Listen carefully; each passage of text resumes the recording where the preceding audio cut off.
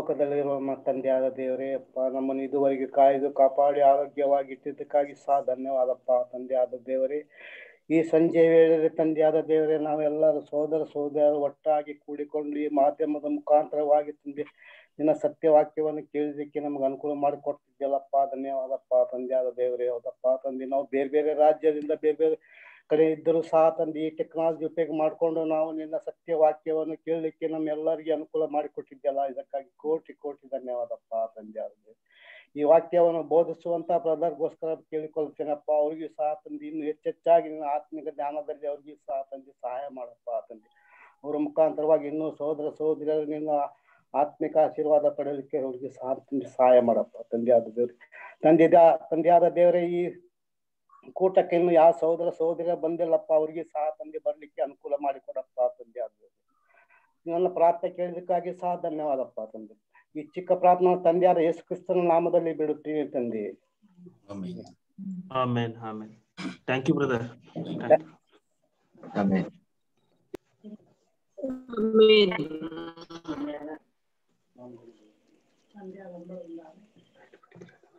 Joshua sister record ಮಾಡಕ್ಕೆ ಹೇಳಿ sister ಹುಷಾರ್ ಸಿಸ್ಟರ್ ದೋಷವಾಗಿ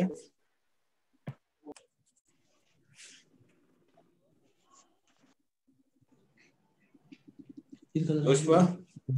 ಪೋಡಿ.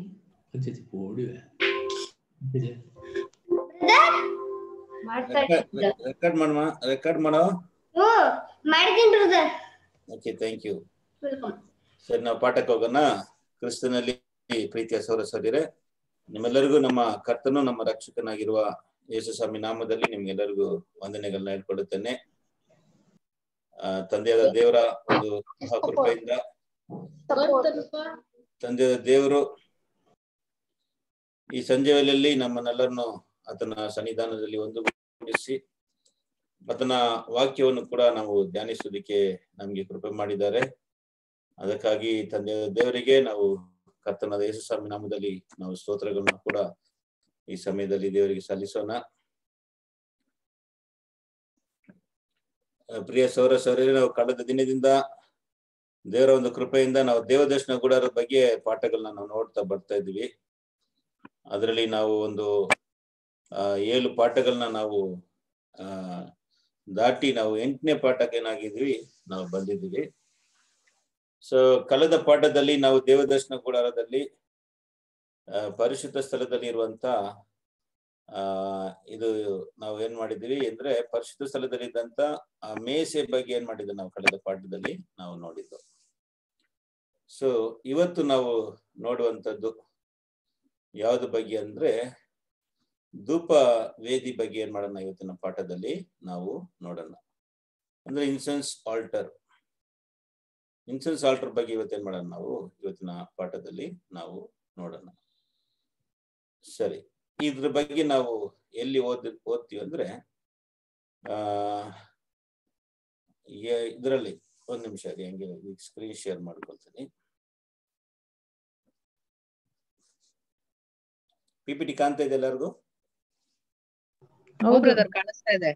ಕಾಣ್ತಾ ಇದೆ ಬ್ರದರ್. ಓಕೆ ಥ್ಯಾಂಕ್ ಯು ಸರಿ, ಈಗ ದೇವದರ್ಶನ ಗುಡದಲ್ಲಿ ಇವತ್ತು ನಾವು ನೋಡುವಂತ ಒಂದು ಪಾಠ ಬಂದು ಧೂಪ ವೇದಿ ಬಗ್ಗೆ ಇವತ್ತಿನ ಪಾಠದಲ್ಲಿ ಏನ್ ಮಾಡೋಣ? ನಾವು ನೋಡೋಣ. ಸೊ ನಾವು ದೇವದರ್ಶನ ಗುಡಾರದಲ್ಲಿ ನಾವು ನೋಡಿದ ಪ್ರಕಾರ ಏನೆಲ್ಲ ಇದೆ ಅಂದ್ರೆ ಅಲ್ಲಿ ನೋಡ್ತೀವಿ ಅಂಗಲ. ಅಂಗಲದಲ್ಲಿ ಯಜ್ಞವೇದಿ ಇದೆ ಮತ್ತು ನೀರಿನ ಒಂದು ತೊಟ್ಟಿ ಮತ್ತೆ ಪರಿಶುದ್ಧ ಸ್ಥಳದಲ್ಲಿ ಮೂರು ವಸ್ತುಗಳು ಅಡಿ ಇಡಲ್ಪಟ್ಟಿತ್ತು. ಒಂದು ದೀಪಸ್ತಂಭ ಮತ್ತೊಂದು ಮೇಸೆ, ರೊಟ್ಟಿಗಳಿಟ್ಟಿರುವಂತ ಮೇಸೆ. ಮತ್ತು ಮೂರನೇ ವಸ್ತು ಏನಂದ್ರೆ ಈ ಧೂಪ ವೇದಿ ಅಂತ ನೋಡ್ತೀವಿ. ಇನ್ಸೆನ್ಸ್ ಆಲ್ಟರ್ ಸೊ ಇದನ್ನ ದೇವರು ಇಸ್ರೇಲ್ ಜನರಿಗೆ ಏನ್ ಮಾಡಿದ್ರು ಅಲ್ಲಿ ದೇವದರ್ಶನ ಗುಡದಲ್ಲಿ ಇದನ್ನ ದೇವರು ಇಟ್ಟಿದ್ರು ಅಂತ ನೋಡ್ತೀವಿ. ಸೊ ಇದ್ರ ಬಗ್ಗೆ ಡೀಟೇಲ್ ಏನ್ ಮಾಡೋಣ ನಾವು ಇವತ್ತು ಪಾಠದಲ್ಲಿ? ನಾವು ನೋಡೋಣ. ಸರಿ. ಅದನ್ನ ನಾವು ವಿಮೋಚನ ಕಾಂಡ. ಮೂವತ್ತನೇದದಲ್ಲಿ ಒಂದರಿಂದ ಹತ್ತು ವಾಕ್ಯಗಳಲ್ಲಿ ಇದ್ರ ಬಗ್ಗೆ ಏನಾಗಿದೆ ಬರೆಯಲ್ಪಟ್ಟಿದೆ. ಅದನ್ನ ಓದಿ ಓದಿ ನಮ್ಮ ಪಾಠವನ್ನ ಏನ್ ಮಾಡೋಣ ನಾವು? ಮುಂದುವರ್ಸೋಣ. ಅದ್ ಹೆಂಗೆ ಮಾಡಲ್ಪಟ್ಟಿತ್ತು? ಅದರ ಒಂದು ಅಳತೆಗಳು ಏನು? ಮತ್ತೆ ಇದರ ವಿಚಾರಗಳ ಬಗ್ಗೆ ಇವತ್ತು ನಾವು ಏನ್ ಮಾಡೋಣ ಇವಾಗ? ನಾವು ನೋಡೋಣ. ಯಾರಾದ್ರೊಬ್ರು ವಾಕ್ಯವನ್ನ ಓದ್ಕೊಂಡ್ ಬನ್ನಿ. ಮೂವತ್ತನೇ ಅಧ್ಯಾಯ ಮೂವತ್ತನೇ ಅಧ್ಯಾಯದಲ್ಲಿ ಒಂದರಿಂದ ಕೆಲವು ವಚನಗಳನ್ನ ಓದೋಣ. ಸುಗಂಧ ಧೂಪ ಹಾಕುವುದಕ್ಕೆ ಜಾಲಿ ಮರದ ಧೂಪವೇದಿಯನ್ನು ಮಾಡಿಸಬೇಕು. ಅದು ಒಂದು ಮೊಳ ಉದ್ದವಾಗಿಯೂ ಒಂದು ಮೊಳ ಅಗಲವಾಗಿಯೂ ಚೌಚೌಕವಾಗಿ ಇರಬೇಕು. ಅದರ ಎತ್ತರವು ಎರಡು ಮೊಳವಾಗಿರಬೇಕು. ಅದರ ಸಿಸ್ಟರ್ ಸಾಕು ಥ್ಯಾಂಕ್ ಯು ಈಗ ಏನ್ ಹೇಳ್ತದೆ ಅಂದ್ರೆ ನೀನು ಧೂಪ ವೇದಿನ ಮಾಡಬೇಕು. ಅದು ಜಾಲಿ ಮರದಿಂದ ಮಾಡಬೇಕಾಗಿದೆ. ಮತ್ತು ಅದರ ಅಳತೆಗಳೇನಂದ್ರೆ ಅದು ಒಂದು ಮೊಲ, ಉದ್ದ ಒಂದು ಮೊಲ, ಅಗಲ ಒಂದು ಮೊಲ, ಎರಡು ಮೊಲ ಎತ್ತರವಾಗಿತ್ತು. ಅದರ ಹೈಟ್ ಅಂದ್ರೆ ಒಂದು ಮೊಲ one cubits breadth one cubits length and two cubits height ಅದರ ಎತ್ತರ ಎಷ್ಟಿತ್ತಂದ್ರೆ, ಎರಡು ಮೊಲವಾಗಿತ್ತು ಅಂತ ನೋಡ್ತೀವಿ. ಸೊ ಇದನ್ನ ಜಾಲಿ ಮರದಿಂದ ಮಾಡಲ್ಪಟ್ಟು ಅಂದ್ರೆ ಚಿನ್ನದ ಒಂದು ತಗಡೆಗಳಿಂದ ಏನಾಗಿದೆ? ಇದು ಒದಗಿಸ್ ಒದಗಿ ಒದಗಿಸಲಾಗಿತ್ತು ಅಂತ ನೋಡ್ತೀವಿ. ಈಗ ಕಂಟಿನ್ಯೂ ಮಾಡಿ ಸಿಸ್ಟರ್ ನೆಕ್ಸ್ಟ್ ವರ್ಸ್ ಅದರ ಕೊಂಬುಗಳು ಅದರೊಂದಿಗೆ ಏಕವಾಗಿರಬೇಕು. ಅದರ ಮೇಲ್ಭಾಗಕ್ಕೂ ನಾಲ್ಕು ಪಕ್ಕಗಳಿಗೂ ಕೊಂಬುಗಳಿಗೂ ಚೊಕ್ಕ ಬಂಗಾರದ ತಗಡುಗಳನ್ನು ಹೊದಿಸಬೇಕು. ಹ್ಮ್ ಸರಿ ನೋಡಿದ್ರ? ಆಮೇಲೆ ಏನಂದ್ರೆ ಅದರ ನಾಲ್ಕು ಕೋಣೆಗಳಲ್ಲಿ ನಾವ್ ಏನಿರ್ತದೆ ಅಂದ್ರೆ ದ ಫೋರ್ ಕಾರ್ನರ್ಸ್ ಅದರಲ್ಲಿ ಏನಿರ್ತದೆ? ಹಾರ್ನ್ಸ್ ಇರ್ತದೆ, ಕೊಂಬೆಗಳು, ಕೊಂಬುಗಳು. ಹಾರ್ನ್ಸ್ ಇರ್ತದೆ. ಮತ್ತು ಇದೆಲ್ಲ ಜಾಲಿ ಮರದಿಂದ ಮಾಡಲ್ಪಟ್ಟು ಬಂಗಾರದ ತಗಡೆಗಳಿಂದ ಅದು ಒದಗಿಸಲ್ಪಟ್ಟಿತ್ತು ಅಂತ ನೋಡ್ತೀವಿ. It was covered it was overlaid with the gold ಅಂತ ನೋಡ್ತೀವಿ. It was made in the acacia wood and overlaid with the gold ಚಿನ್ನದ ತಗಡೆಗಳಿಂದ ಅದು ಏನಾಗಿದೆ? ಅದು ಮುಚ್ಚಲ್ಪಟ್ಟಿತ್ತು ಅಂತ ನೋಡ್ತೀವಿ. ಸರಿ ನೆಕ್ಸ್ಟ್ ಓದನ ಸಿಸ್ಟರ್ ಕಂಟಿನ್ಯೂ ಮಾಡಿ. ಮೂವತ್ತನೇದಲ್ಲಿ ಹಂಗೆ ತರ್ಟಿ ಫೋರ್ತ್ ವರ್ಸ್ ಸುತ್ತಲೂ ಚಿನ್ನದ ಗೋಟು ಕಟ್ಟಿಸಬೇಕು. ಅದರ ಕೆಳಗೆ ವೇದಿಯ ಎರಡು ಪಾರ್ಶ್ವಗಳಲ್ಲಿ ಎರಡೆರಡು ಚಿನ್ನದ ಬಳೆಗಳನ್ನು ಮೂಲೆಗಳಲ್ಲಿಯೇ ಹಾಕಿಸಬೇಕು. ನೋಡಿದ್ರ? ಸರಿ ನೆಕ್ಸ್ಟ್ ಏನಪ್ಪಾ ಅಂದ್ರೆ ಇಲ್ಲಿ ನೋಡ್ತಿರೋ ನಾವು ಅಂದ್ರೆ ಅದರ ಏನಾಗ್ಬೇಕಂದ್ರೆ ಗೋಟಿಗಳು. ಗೋಟಿನ ಅಂದ್ರೆ ಇದು ಹ್ಯಾಂಡ್ ಬ್ರತ್ ಅಂದ್ರೆ ಏನಂದ್ರೆ ಇದು ಒಂದು ಕ್ರೌನ್ ತರ ಆದ್ಮೇಲೆ ಡಿಸೈನಿಂಗ್ ಇತ್ತು ಅದ್ರಲ್ಲಿ. ಇಲ್ಲಿ ನೋಡ್ತಾ ಇದೀವಲ್ಲ ಈ ತರ ಒಂದು ಡಿಸೈನಿಂಗ್ ಮತ್ತೆ, ಆ, ಏನಿತ್ತಂದ್ರೆ ಒಂದು ರಿಂಗ್ಸ್ ನಾಲ್ಕು ಕೊನೆಗಳಲ್ಲಿ ಏನಿತ್ತಂದ್ರೆ ಬಲೆಗಳಿತ್ತು. ಯಾಕೆ ಆ ಬಲೆಗಳು ಅಂದ್ರೆ, ಆ ಬಲೆಗಳು ಬಂದು ಈ ಕೊಂಬನ್ನ ಹಾಕೋದಿಕ್ಕೆ ಒಂದು ಸ್ಥಳವಾಗಿತ್ತು. ಸೊ ಅವರು ಎಲ್ಲಾ ಕಡೆ ಹೊತ್ಕೊಂಡು ಹೋಗ್ಬೇಕಾದ್ರೆ, ಹಿಂಗೆ ಅದನ್ನ ಹೊತ್ಕೊಂಡು ಹೋಗ್ಬೇಕು. ಅದನ್ನ ಹೊತ್ಕೊಂಡು ಹೋಗ್ಬೇಕಾದ್ರೆ ಇದನ್ನ ಏನ್ ಮಾಡ್ಬೇಕು ಅವ್ರು? ಹಂಗೆ ಈ ಕೊಂಬೆಗಳನ್ನ ಇಟ್ಕೊಂಡು ಅವರು ಹೊತ್ಕೊಂಡು ಹೋಗ್ಬೇಕು ಅಂತ ನೋಡ್ತೀವಿ. ಹಂಗೆ ಕಂಟಿನ್ಯೂ ಮಾಡೋಣ ಈಗ ವಚನ ಓದಿ ಹೆಂಗೆ. ವೇದಿಯನ್ನು ಹೊರೋದಕ್ಕೆ ಕೋಲುಗಳನ್ನು ಅವುಗಳಲ್ಲಿ ಸೇರಿಸಬೇಕು. ಹ್ಮ್. ನೋಡಿದ್ರ ಕೋಲುಗಳನ್ನ ಏನ್ ಮಾಡ್ಬೇಕಾದ್ರಲ್ಲಿ ಸೇರಿಸಬೇಕು. ಹ್ಮ್. ಕಂಟಿನ್ಯೂ ಸಿಸ್ಟರ್ ಆ ಕೋಲುಗಳನ್ನು ಜಾಲಿ ಮರದಿಂದ ಮಾಡಿಸಿ ಅವುಗಳಿಗೆ ಚಿನ್ನದ ತಗಡುಗಳನ್ನು ಹೊದಿಸಬೇಕು. ಹ್ಮ್. ನೋಡ್ರ ಅದನ್ನ ಏನ್ ಮಾಡ್ಬೇಕು? ಜಾಲಿ ಮರದಿಂದ ಮಾಡಲ್ಪಟ್ಟಿತ್ತು. ಮತ್ತೆ ಚಿನ್ನದ ತಗಡೆಗಳಿಂದ ಒದಗಿಸಲ್ಪಟ್ಟಿತ್ತು. ಇದೇ ನೋಡಿ, ಎಲ್ಲ ವಸ್ತುಗಳು ಕೂಡ ಜಾಲಿ ಮರದಿಂದ ಮಾಡಲ್ಪಟ್ಟಿತ್ತು. ಮತ್ತೆ ಚಿನ್ನ ಚಿನ್ನದ ತಗಡಗಳಿಂದ ಎಲ್ಲವೂ ಒದಗಿಸಲ್ಪಟ್ಟಿತ್ತು ಅಂತ ನೋಡ್ತೀವಿ.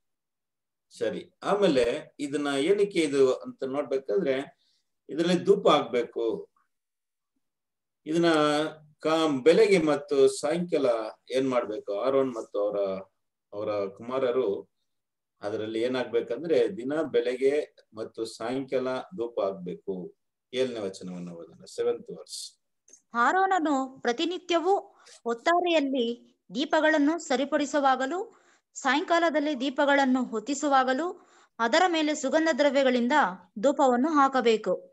ಆಮೇಲೆ ಏನಾಗಂದ್ರೆ ಬೆಳಗ್ಗೆ ಮತ್ತು ಸಾಯಂಕಾಲ ಏನಾಗ್ಬೇಕು?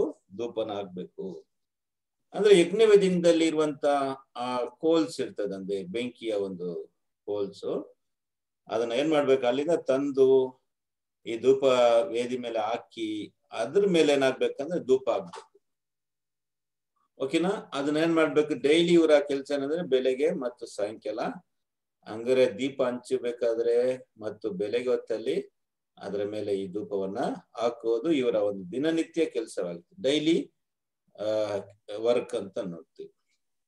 ಹಾಗೆ ಕಂಟಿನ್ಯೂ ಮಾಡೋಣ.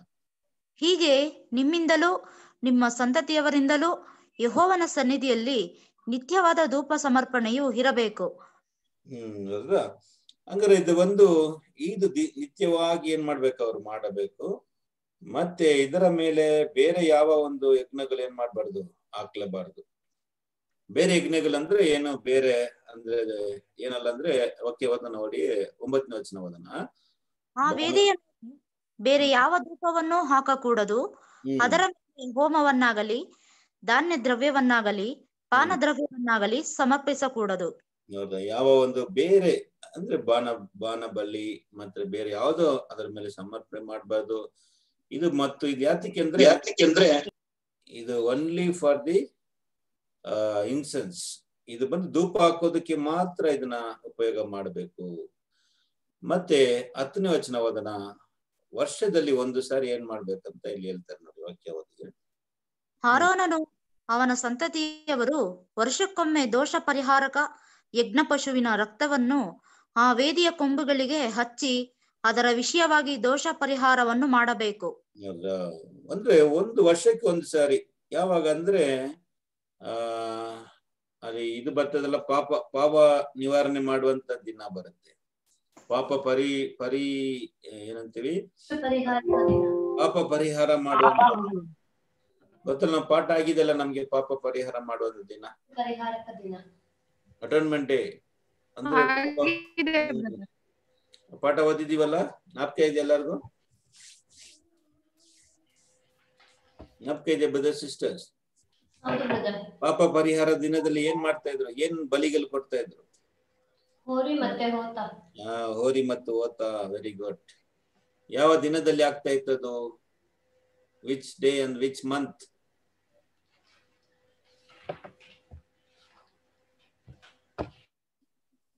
ಗೊತ್ತಿಲ್ವಾ ಯಾರಿಗೂ? ಯಾವ ತಿಂಗಳು? ಯಾವ ತಿಂಗಳು ಅವರಿಗೆ ಪಾಪ ಪರಿಹಾರದ ದಿನ?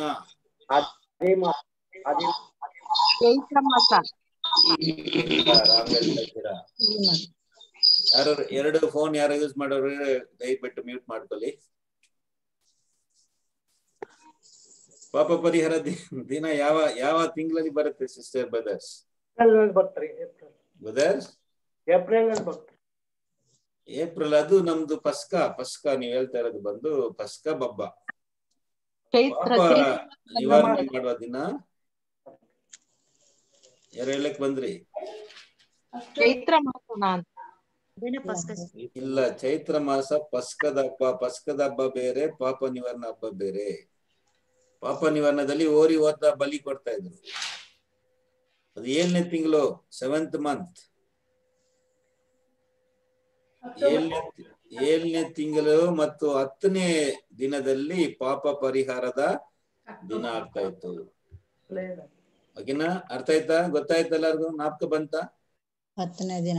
ಓತ ಓರಿ ಬಲಿ ಕೊಡ್ತಾ ಇದ್ರಲ್ಲ ಅದು ಬಂದು ಯಾವ ದಿನ ಅಂದ್ರೆ ಹತ್ತನೇ ಏಳನೇ ತಿಂಗಳಿನಲ್ಲಿ ಹತ್ತನೇ ದಿವಸದಲ್ಲಿ ಅದನ್ನ ಮಾಡ್ತಾ ಇದ್ರು. ಅವತ್ತು ಏನ್ ಮಾಡ್ಬೇಕಂದ್ರೆ ಅವತ್ತು ಹಾರನನ್ನು ಈ ಕೊಂಬುಗಳ ಮೇಲೆ ಈ ಧೂಪ ಪೀಠದ ಧೂಪ ವೇದಿಯ ಒಂದು ಕೊಂಬುಗಳ ಮೇಲೆ ಏನಾಗ್ಬೇಕು?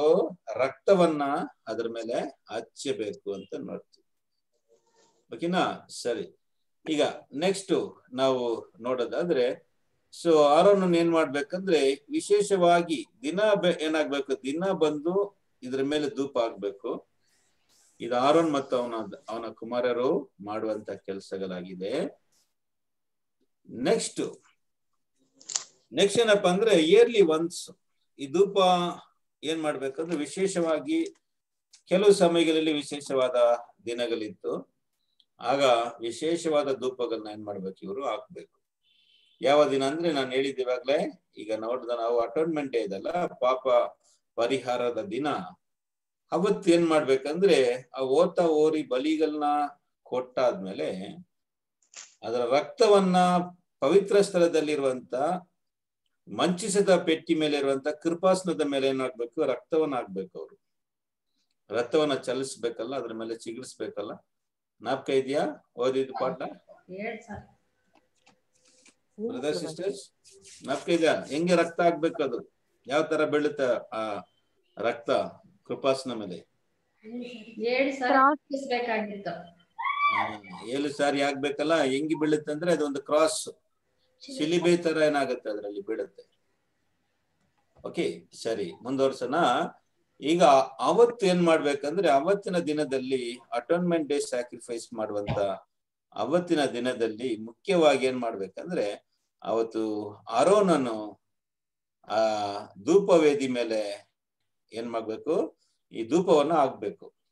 ಇಲ್ಲಾಂದ್ರೆ ಅವನು ಸಾಯುವನು ಅಂತ ನೋಡ್ತೀವಿ. ವಾಕ್ಯನ ಓದನ ಬನ್ನಿ. Leviticus sixteen chapter thirteenth verse ಯಾಜಕ ಕಂಡ ಹದಿನಾರನೇದಲ್ಲಿ ಹದಿಮೂರನೇ ವಚನ. ಆ ಧೂಪವನ್ನು ಯಹೋವನ ಸನ್ನಿಧಿಯಲ್ಲೇ ಕೆಂಡಗಳ ಮೇಲೆ ಹಾಕಬೇಕು. ಅವನಿಗೆ ಪ್ರಾಣ ನಷ್ಟವಾಗದಂತೆ ಧೂಪದ ಹೊಗೆ ಮೇಘದೋಪಾದಿಯಲ್ಲಿ ಆಜ್ಞಾಶಾಸನಗಳ ಮೇಲಿನ ಕೃಪಾಸನವನ್ನು ಮುಚ್ಚುವುದು. ನೋಡಿದ್ರ?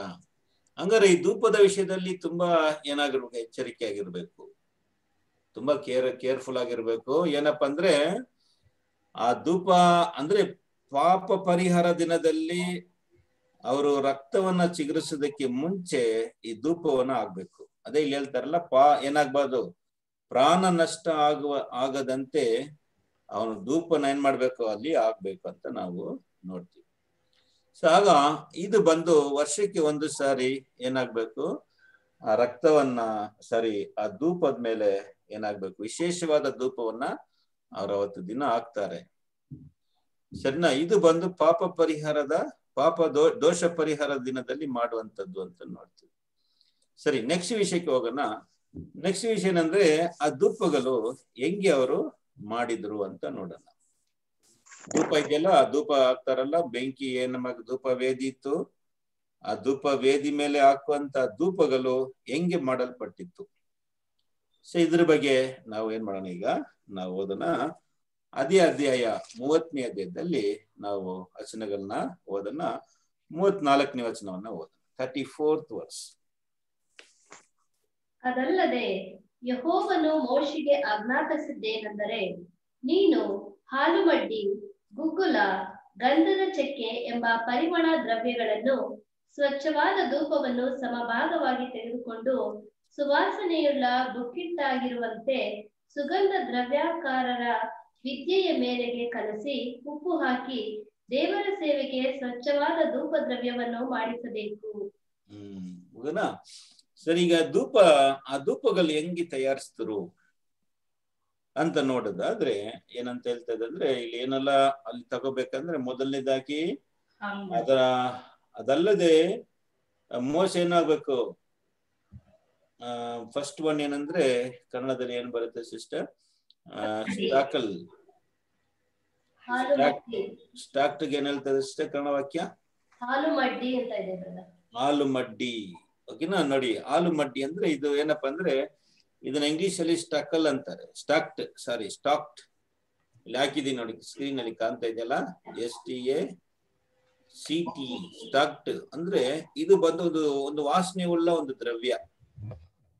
ಇದು ಬಂದು ಮರದಿಂದ ತಗ, ತೆಗೆಯುವಂತ ಒಂದು ಜೆಲ್ ಇದು ಜೆಲ್ ಅಂದ್ರೆ ಈಗ ಮರದಲ್ಲಿ ಇದೆಲ್ಲ ಮರ, ಇದು ಒಂದು ಈ ಮರ ಇರ್ತದೆ ಸ್ಟಾಕ್ಟಲ್ ಮರ ಇದೆ.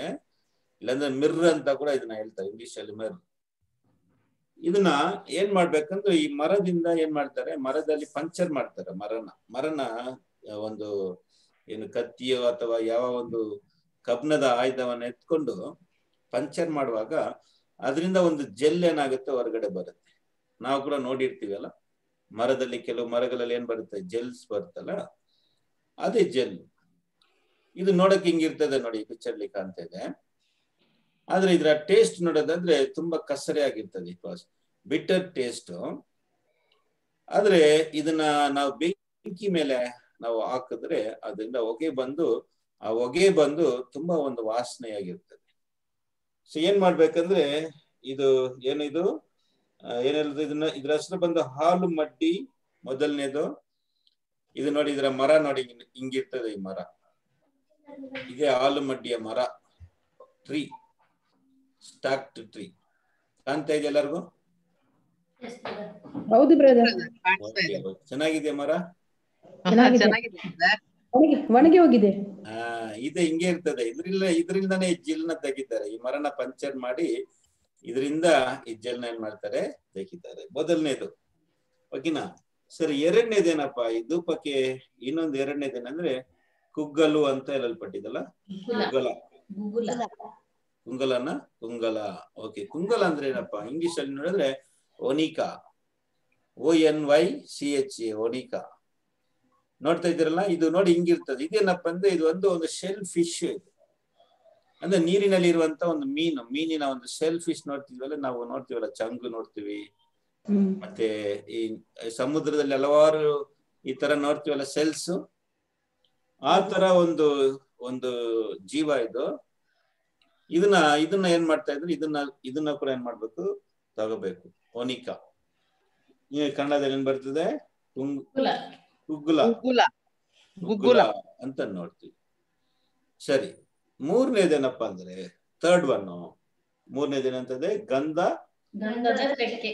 ಗಂಧದ ಚೆಕ್ಕೆ ಇಂಗ್ಲಿಷ್ ಅಲ್ಲಿ ನೋಡಿದ್ರೆ ಗ್ಯಾಲ್ ಬ್ಯಾನಮ್ ಗ್ಯಾಲ್ ಬ್ಯಾನಮ್ ಅಂತ ಬರ್ತದೆ. ಸೊ ಇದು ಕೂಡ ಒಂದು ಗಿಡದಿಂದ ತಗೊಳ್ಳುವಂತ ಒಂದು ಒಂದು ಜೆಲ್ ಇದು ಕೂಡ. ಈ ತರ ಜೆಲ್ ನೋಡ್ತಾ ಇದ್ರೆ ಈ ತರ ಇದೆ. ಇದರ ಗಿಡ ನೋಡಿ ಹಿಂಗಿದೆ ನೋಡಿ ಇದು. ಗ್ಯಾಲ್ ಬ್ಯಾನಮ್ ಅಂತ ಒಂದು ಗಿಡ ಆ ಗಿಡದಿಂದ ತಗೊಳ್ಳುವಂತ ಒಂದು ಜೆಲ್ಲು. ಒಣಗ್ ಬಿಟ್ರೆ ನಾವು ನೋಡಿ ನಮ್ಮ ಮನೇಲಿ ಕೂಡ ಹಾಕಿತ್ತು ಕೆಲವು ರೋಮನ್ ಕ್ಯಾಥೋಲಿಕ್ ಮನೆಗಳಲ್ಲಿ. ಡೈಲಿ ಏನ್ ಮಾಡ್ತಾರೆ? ಈ ಧೂಪ ಹಾಕ್ತಿವಲ್ಲ? ಯಾರು ಹಾಕಿದ್ದಾರೆ ನಿಮ್ಮ ಮನೆಗಳಲ್ಲಿ? Roman Catholic brothers sisters? Roman Catholic ಬೇಕಾದ್ರೆ ಧೂಪನ ಹಾಕ್ತಾ ಇದೀವಲ್ಲ ಮನೇಲಿ ಒಳ್ಳೆ ವಾಸನೆ ಬರ್ತದೆ ಹೌದು ಹೌದು ಬ್ರದರ್ ಹಿಂದೂಸ್ ಕೂಡ ಹಾಕ್ತಾರೆ. ಹೌದು. ಆ ಹಿಂದೂಸ್ ಕೂಡ ಹಾಕ್ತಾರೆ ತುಂಬಾ ಚೆನ್ನಾಗಿರ್ತದೆ ವಾಸನೆಗೆ ಇದೇನೆ ಇದನ್ನ ಹಿಂದೂ ಹಿಂದೂಸ್ ಕೂಡ ಏನ್ ಮಾಡೋದು? ಊದ್ಬತ್ತಿನ ಏನ್ ಮಾಡೋದು? ಅದನ್ನ ಹಂಚಿಡೋದು ಧೂಪ. ಲೋಬನ ಅಲ್ಲ ಬ್ರದರ್? ಸಿಸ್ಟರ್? ಓಕೆನಾ? ಸರಿ ಈಗ ಇದರ ಹೆಸರು ಏನ್ ಹೇಳಿದ್ದೆ ನಾವು? ಕೇಳಿಸ್ತಾ ಇಲ್ವಾ?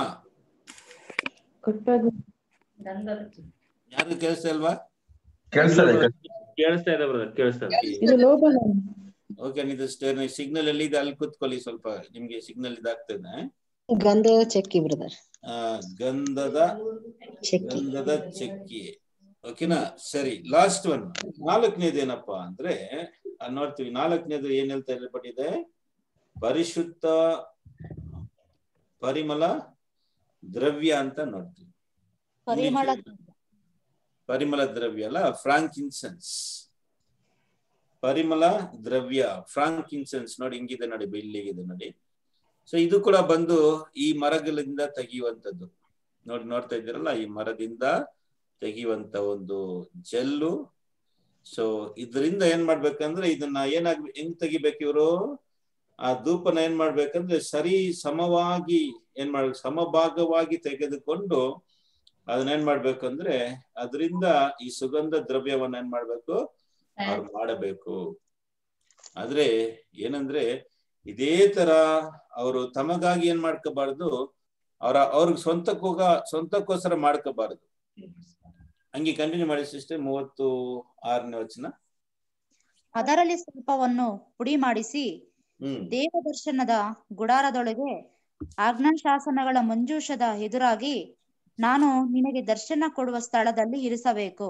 ಹ್ಮ್. ಅಂದ್ರೆ ಅದ್ರಲ್ಲಿ ಸ್ವಲ್ಪ ಪೊಡಿ ಮಾಡಿ ಇಟ್ಕೊಳ್ತಾರಲ್ಲಿ ತುಂಬಾ ದೊಡ್ಡ ದೊಡ್ಡದಾಗಿರ್ತದೆ. ಅದರಿಂದ ಅದ್ರಲ್ಲಿ ಸ್ವಲ್ಪ ಪೊಡಿ ಮಾಡಿ ಇಟ್ಕೊಳ್ಳೋದು. ಪುಡಿ ಮಾಡ್ಬಿಟ್ರೆ ಏನಾಗುತ್ತೆ ಅಂದ್ರೆ ಅದು ಬೇಗ ಏನಾಗುತ್ತೆ?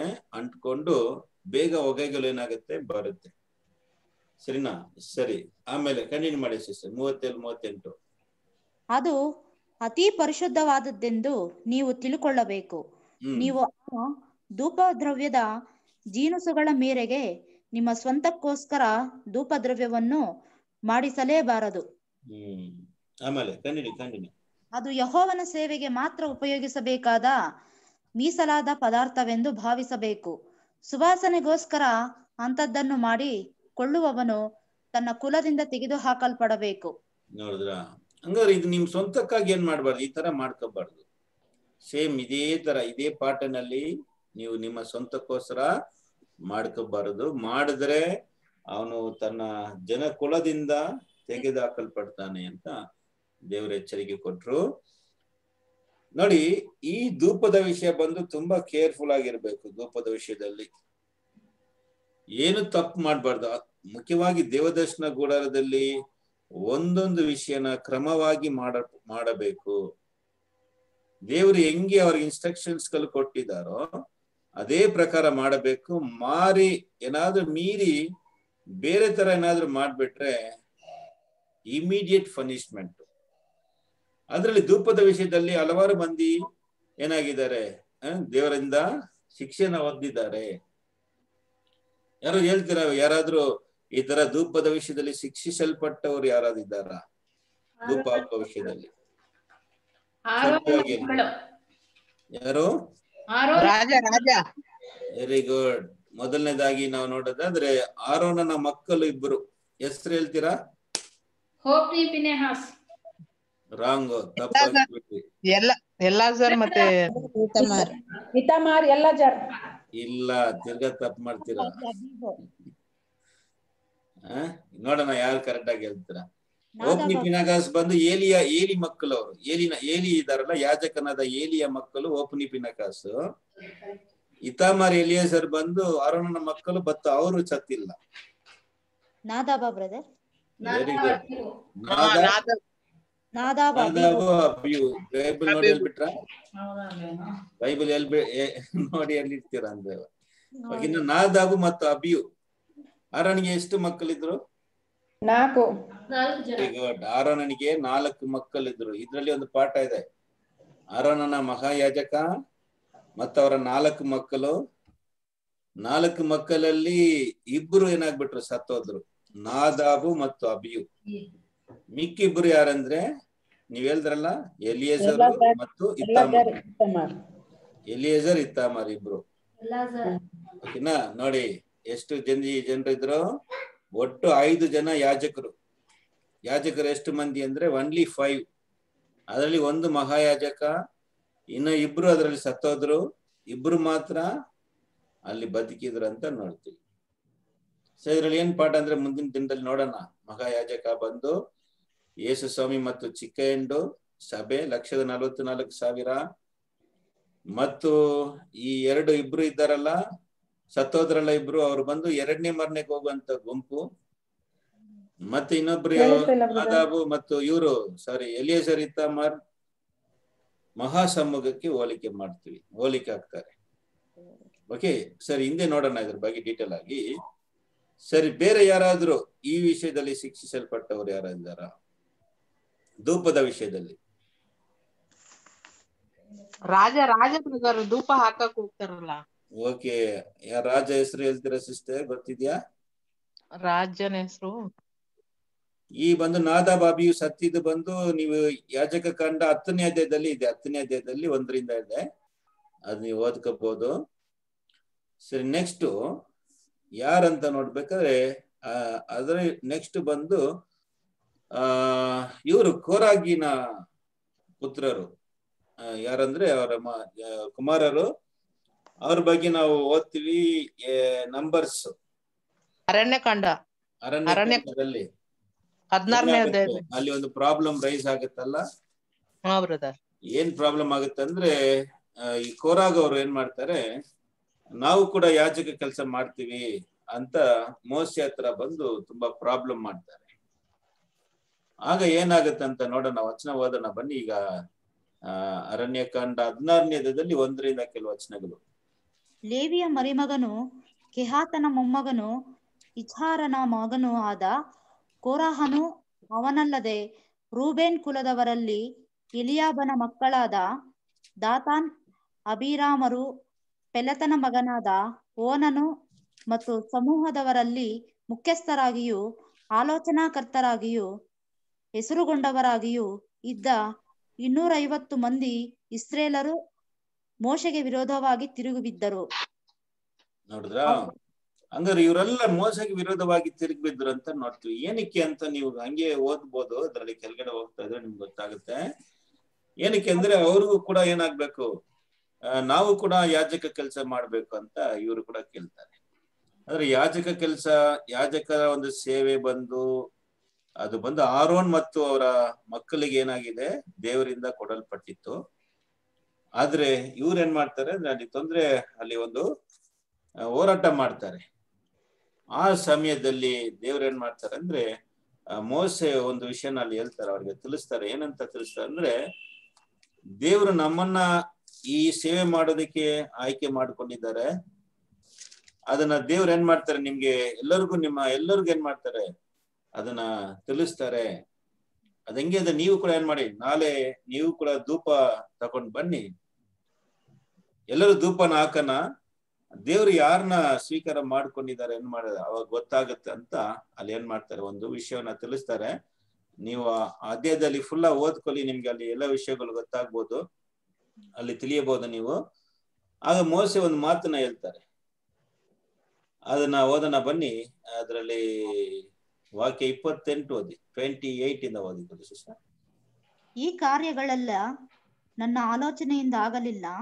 ಎಂದು ಯಹೋವನೇ ಇವುಗಳನ್ನು ನಡೆಸುವುದಕ್ಕೆ ನನ್ನನ್ನು ಕಳುಹಿಸಿದನೆಂದು ನೀವು ತಿಳ್ಕೊಳ್ಳುವುದು ಹೇಗೆಂದರೆ ಎಲ್ಲರೂ ಸಾಯುವ ರೀತಿಯಲ್ಲೇ ಇವರು ಸತ್ತರೆ ಇಲ್ಲವೇ ಎಲ್ಲರಿಗೂ ಸಂಭವಿಸುವ ಗತಿ ಇವರಿಗುಂಟಾದರೆ ಯಹೋವನು ನನ್ನನ್ನು ಕಳುಹಿಸಿಲ್ಲವೆಂದು ತಿಳುಕೊಳ್ಳಬೇಕು. ಆದರೆ ಯಹೋವನು ಇವರಿಗೋಸ್ಕರ ಅಪೂರ್ವವಾದ ಶಿಕ್ಷೆಯನ್ನು ಕಲ್ಪಿಸಿದರೆ ಅಂದರೆ ಭೂಮಿಯ ಬಾಯ್ದೆರೆದು ಇವರನ್ನು, ಇವರ ಸಸ್ವರ್, ಸರ್ವಸ್ವವನ್ನು ನುಂಗುವುದರಿಂದ ಇವರೆಲ್ಲರೂ ಸಜೀವಿಗಳಾಗಿ ಪಾತಾಳಕ್ಕೆ ಹೋಗಿಬಿಟ್ಟರೆ ಇವರು ಯಹೋವನನ್ನು ಉಲ್ಲಂಘಿಸಿದವರೆಂದು ನೀವು ತಿಳ್ಕೊಳ್ಳಬೇಕು. ಈಗ ಏನ್ ಮಾಡ್ತಾರೆ ಅಂದ್ರೆ ಒಂದು ಇನ್ನೂರ ಐವತ್ತು ಜನ ಧೂಪ, ಒಂದು ಧೂಪನ ತಂದು ದೇವರ ಹತ್ರ ಹಾಕಕ್ಕೆ ಬರ್ತಾರೆ. ಹಾಗೆ ಮೋಸ ಈ ಮಾತನ್ನ ಹೇಳ್ತಾರೆ. ಏನ್ ಹೇಳ್ತಾರೆ ಅಂದ್ರೆ, ಎಲ್ಲರಿಗೂ ಸಂಭವಿಸುವ ತರ ನಿಮಗೂ ಸಂಭವಿಸಿದ್ರೆ ನಿಮ್ಗೆ ಒಂದು ವ್ಯತ್ಯಾಸವಾಗಿ ಸಂಭವಿಸ್ಬೇಕು. ಆವಾಗ ದೇವರನ್ನ ಅಂತ ಏನಾಗುತ್ತೆ ಗೊತ್ತಾಗುತ್ತೆ. ಏನಂದ್ರೆ, ಎಲ್ಲರೂ ಸತ್ತ ಮೇಲೆ ಎಲ್ಲರನ್ನ ಏನ್ ಮಾಡ್ತೀವಿ? ನಾವು ಮಣ್ಣಿಗೆ ಹಾಕ್ತಿವಿ. ಆದ್ರೆ ಬದುಕಿರೋರ್ನ ಹಾಕ್ತಿವಿ ಅಂದ್ರೆ ಇಲ್ಲ. ಅದೇ ಇಲ್ಲಿ ಹೇಳ್ತಾರೆ, ಆ ತರ ನಡಿಬೇಕು ನಿಮ್ಮ ವಿಷಯದಲ್ಲಿ. ಆ ತರ ಶಿಕ್ಷಣ ದೇವ್ರು ಏನ್ ಮಾಡ್ಬೇಕು ನಿಮ್ಗೆ? ಕೊಡಬೇಕಂತ ಮೋಸ ಹೇಳುವಾಗ, ಆಗ ಏನಾಯ್ತಂದ್ರೆ, ಅವರೆಲ್ಲರೂ, ಯಾರೆಲ್ಲ ಧೂಪನ ತಂದ್ರು ಒಂದು ಇಪ್ಪ ಇನ್ನೂರ ಐವತ್ತು ಜನ ಆ ಧೂಪವನ್ನ ತಂದ್ರು. ಅವರೆಲ್ಲರೂ ಏನಾಗ್ಬಿಟ್ರು ಅಂದ್ರೆ, ಅವರೆಲ್ಲರೂ ಆ ಭೂಮಿ ಒಳಗಡೆ ಏನಾಗ್ಬಿಟ್ರು, ಹಂಗೆ ಭೂಮಿ ಓಪನ್ ಆಗಿ ಅವರು ಮತ್ತು ಅವರ ಕುಟುಂಬದವರೆಲ್ಲರೂ ಅದರಲ್ಲಿ ಸತ್ತೋದ್ರು. ಹಂಗೆ ಓದೋಣ, ಬನ್ನಿ, ಓದಿ ಸಿಸ್ಟರ್ ಈ ಮೂವತ್ಮೂರು ಮೂವತ್ನಾಲ್ಕು ತಮ್ಮ ಸರ್ವಸ್, ತಮ್ಮ ಸರ್ವಸ್ವವು ಸಹಿತ ಪಾತಾಳಕ್ಕೆ ಹೋಗಿಬಿಟ್ಟರು. ಭೂಮಿಯು ಅವರನ್ನು ಮುಚ್ಚಿಕೊಂಡಿತು. ಹೀಗೆ ಅವರು ಸಮೂಹದವರೊಳಗಿಂದ ನಾಶವಾದರು. ಅವರ ಸುತ್ತಲಿದ್ದ ಇಸ್ರೇಲರೆಲ್ಲರೂ ಸಾಯುವವರ ಆಹಾಕಾರವನ್ನು ಕೇಳಿ ಭೂಮಿಯು ನಮ್ಮನ್ನು ನುಂಗೀತೆಂದು ಓಡಿ ಹೋದರು ಆಮೇಲೆ ಮತ್ತು ಯಹೋವನ ಬಳಿಯಿಂದ ಬೆಂಕಿ ಹೊರಟು ಧೂಪವನ್ನು ಅರ್ಪಿಸುತ್ತಿದ್ದ ಆ ಇನ್ನೂರೈವತ್ತು ಮಂದಿಯನ್ನು ಭಸ್ಮ ಮಾಡಿತು. ಇದು ಕೂಡ ಅವರಲ್ಲಿ ಆಗಿದಂತ ಶಿಕ್ಷೆ. ಯಾಕೆಂದ್ರೆ ಧೂಪ ಹಾಕೋದು ಆರೋನ್ ಮತ್ತು ಅವರ ಕುಟುಂಬದವರು ಮಾತ್ರ ಆಗ್ಬೇಕು. ನಲ್ವತ್ತನೇ ವಚನ ಅದನ್ನ ಫಾರ್ಟಿ ಏತ್ ವರ್ಸ್ ಆರೋನನ ಸಂತತಿಯವರಲ್ಲದ ಇತರರಲ್ಲಿ ಯಾರು ಯಹೋವನ ಸನ್ನಿಧಿಗೆ ಬಂದು ಧೂಪವನ್ನು ಸಮರ್ಪಿಸಬಾರದು. ಸಮರ್ಪಿಸಿದರೆ ಕೋರಾಹನಿಗೂ ಅವನ ಜೊತೆಗಾರರಿಗೂ ಉಂಟಾದ ಗತಿಗೆ ಗುರಿಯಾದರೆಂದು ಇಸ್ರೇಲರಿಗೆ ನೆನಪು ಹುಟ್ಟಿಸುವುದಕ್ಕಾಗಿ ಅದು ಗುರುತಾಯಿತು. ನೋಡಿದ್ರ? ಮತ್ತೆ ನೋಡಿದ್ರ ಹಿಂಗೆ ನೋಡ್ಬೇಕಾದ್ರೆ ಇಲ್ಲೂ ಕೂಡ ಏನಾಯ್ತು? ಈ ಧೂಪದ ವಿಷಯದಲ್ಲಿ ಏನಾಗಿದೆ? ಒಂದು ಕಠಿಣವಾದ ಶಿಕ್ಷೆಯಲ್ಲಿ ಆಗಿತ್ತಂತ ನೋಡ್ತೀವಿ. ನೋಡಿ, ಅಲ್ಲಿ ಆರೋನ್ ಮತ್ತು ಇವನು ನಾದಾ, ಬಾಬಿಯು ಅರೋಣನ ಮಕ್ಕಳು ದೇವರು ಹೇಳದ, ಹೇಳದಿದ್ದ ಧೂಪವನ್ನು ಹಾಕಿದ್ರು. ಇವ್ರು ಏನ್ ಮಾಡಿದ್ರು ಅಂದ್ರೆ, ಇವ್ರಿಗೆ ದೇವರ ಸೇವೆನ ಕೊಟ್ಟೇ ಇಲ್ಲ. ಇವರ ಸೇವೆ ಏನಂದ್ರೆ, ದೇವದರ್ಶನ ಕೂಡಾರದಲ್ಲಿ ಇವರು ಬಂದು ಆ ವಸ್ತುಗಳನ್ನ ಏನ್ ಮಾಡ್ಬೇಕು? ಅವ್ರು ಒತ್ಕೊಂಡು ಹೋಗ್ಬೇಕು. Have to carry in their shoulders ಅವರ ಒಂದು ಶೋಲ್ಡರ್ ಮೇಲೆ ಆ ವಸ್ತುಗಳನ್ನ ಒತ್ಕೊಂಡು ಹೋಗೋದು ಮಾತ್ರ ಇವರ ಕೆಲಸ.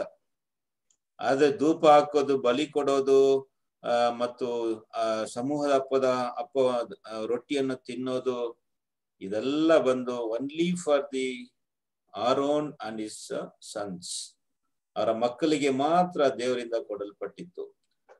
ಸರಿ, ಇನ್ನೊಬ್ರು, ಅದೇ ಹೇಳಿದ್ರು ಬ್ರದರ್ ಸಿಸ್ಟರ್ ಹೇಳಿದ್ರಲ್ಲ ಏನು, ಇನ್ನೊಬ್ರು ಯಾರು ಶಿಕ್ಷೆ ಆಯ್ತು ಅಂದ್ರೆ, ಇನ್ನೊಂದು ಮನುಷ್ಯ, ರಾಜ. ಅವನ ಹೆಸರು ಯಾರಾದ್ರು ಹೇಳ್ತೀರಾ? ಇನ್ನೊಂದು ರಾಜ ಅಂದ್ರೆ, ಅವನ ಹೆಸರು ಬಂದು ಊಸಿಯಾ. ಅವನ ಹೆಸರು ಏನಾಗಿದೆ? ಊಸಿಯಾ ಅಂತ ಹೇಳಲ್ಪಟ್ಟಿದೆ. ವಾಕ್ಯ ಓದಿ ಇಪ್ಪತ್ತಾರನೇ ಅಧ್ಯಾಯ, ಎರಡನೇ ಪೂರ್ವಕಾಲ ವೃತ್ತ ಅಂತ. ಇಪ್ಪತ್ತಾರನೇ ಅಧ್ಯಾಯದಲ್ಲಿ ಹದಿನಾರನೇ ವಚನ. Second Chronicles twenty six our sixteen ಇಂದ ಓದಿ. ಆದರೆ ಅವನು ಬಲಿಷ್ಠನಾದ ಮೇಲೆ ಗರ್ವಿಷ್ಠನಾಗಿ ಭ್ರಷ್ಟನಾದನು. ತನ್ನ ದೇವರಾದ ಯಹೋವನಿಗೆ ದ್ರೋಹಿಯಾಗಿ ಧೂಪವೇದಿಯ ಮೇಲೆ ತಾನೇ ಧೂಪ ಹಾಕಬೇಕೆಂದು ಯಹೋವನ ಆಲಯದೊಳಕ್ಕೆ ಹೋದನು.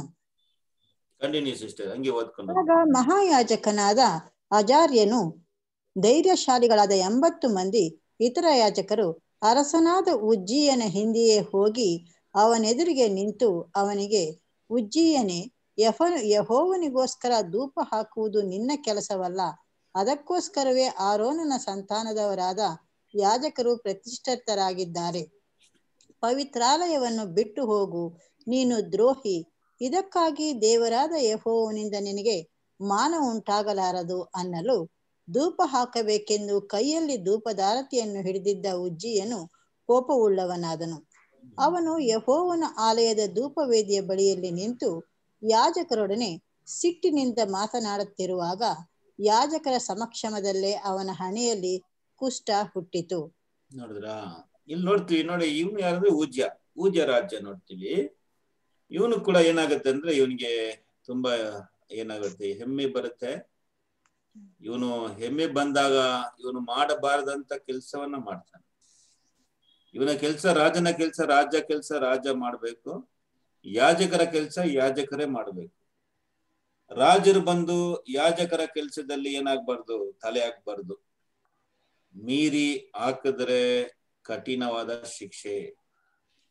ಈ ತರ ಬೇರೆ ಯಾರಾದ್ರೂ ರಾಜ ಯಾಜಕರ ಕೆಲಸದಲ್ಲಿ ತಲೆ ಹಾಕಿದಾರ ಬೇರೆ ಯಾರಾದ್ರೂ? ತಲೆ ಹಾಕಿ ಅವ್ರು ತುಂಬಾ ನಷ್ಟವನ್ನ ದೇವರಿಂದ ಪಡ್ಕೊಂಡ್ರು. Saul Saul brother Saul. Very good very good ಸೌಲನ್ನು ಕೂಡ ಏನ್ ಮಾಡ್ಬಿಟ್ರು ಸೌಲನು? ಸೌಲನ್ ಏನ್ ಮಾಡಿದ್ರು? ಆ, ಅರ್ಪಣೆ ಮಾಡಿದ್ರಲ್ಲ ಬ್ರದರ್ ಬಲಿ ಸಮಯಲ್ ಬರಕ್ಕಿಂತ ಮುಂಚೆನೆ ಸಾಮ್ಯಲ್ಗೆ ಸಾಮ್ಯಲ್ ಬರಕ್ಕೆ ಮುಂಚೆ ಬಲಿ ಕೊಟ್ಬಿಟ್ರು. ಅದರಿಂದ ಅವರು ರಾಜ್ಯವನ್ನ ಕಲ್ಕೊಂಡ್ರು ದೇವ್ರವ್ರನ್ನ ಬಿಟ್ಟು ಸೌಲನ್ನು ಮಾಡಿದಂತ ಎರಡು ತಪ್ಪುಗಳು. ಏನಂದ್ರೆ ಒಂದು ಬಂದು ಬಲಿ ಕೊಟ್ಟಿದ್ದು. ಇನ್ನೊಂದ್ ಹೇಳ್ತೀರಾ ಯಾರಾದ್ರು? ಅಮಾಲೇಕರ ದನಗಳನ್ನ ಸಾಯಿಸ್ ಬನ್ನಿ ಅಂತ ಹೇಳ್ಬೇಕಂದ್ರೆ ಅವ್ರು ಕೆಲವ್ರನ್ನ ಜೀವಂತವಾಗಿ ತಂದ ಮತ್ತೆಲ್ಲ ಒಂದು ಅವತ್ತ ವರಿಗಳನ್ನ ಕೂಡ ಅವನು ಜೀವಂತವಾಗಿ ತಂದಿದ್ದು ಅವ್ನು ಮಾಡಿದಂತ ಎರಡು ತಪ್ಪುಗಳು ದೊಡ್ಡ ತಪ್ಪಾಗಿದೆ. ಸರಿ okay this is for your information ಅಂದ್ರೆ ಈಗ ನಾವು ಏನ್ ನೋಡ್ತಾ ಇದೀವಿ? ಈಗ ಈ ಊಜ್ಯ ರಾಜನ್ಗೆ ಏನ್ ಬಂತು? ಕುಷ್ಠರೋಗ ಬಂತು. ಕುಷ್ಠ ಬಂತು. ಎಲ್ಲಿ ಅಂದ್ರೆ ಹನೆಯಲ್ಲಿ ಅದರಿಂದ ಇವನೇನಾದ ನೋಡಿ? ಇಪ್ಪತ್ತೊಂದನೇ ವಚನ ನೋಡಿ. ಟ್ವೆಂಟಿ ಒನ್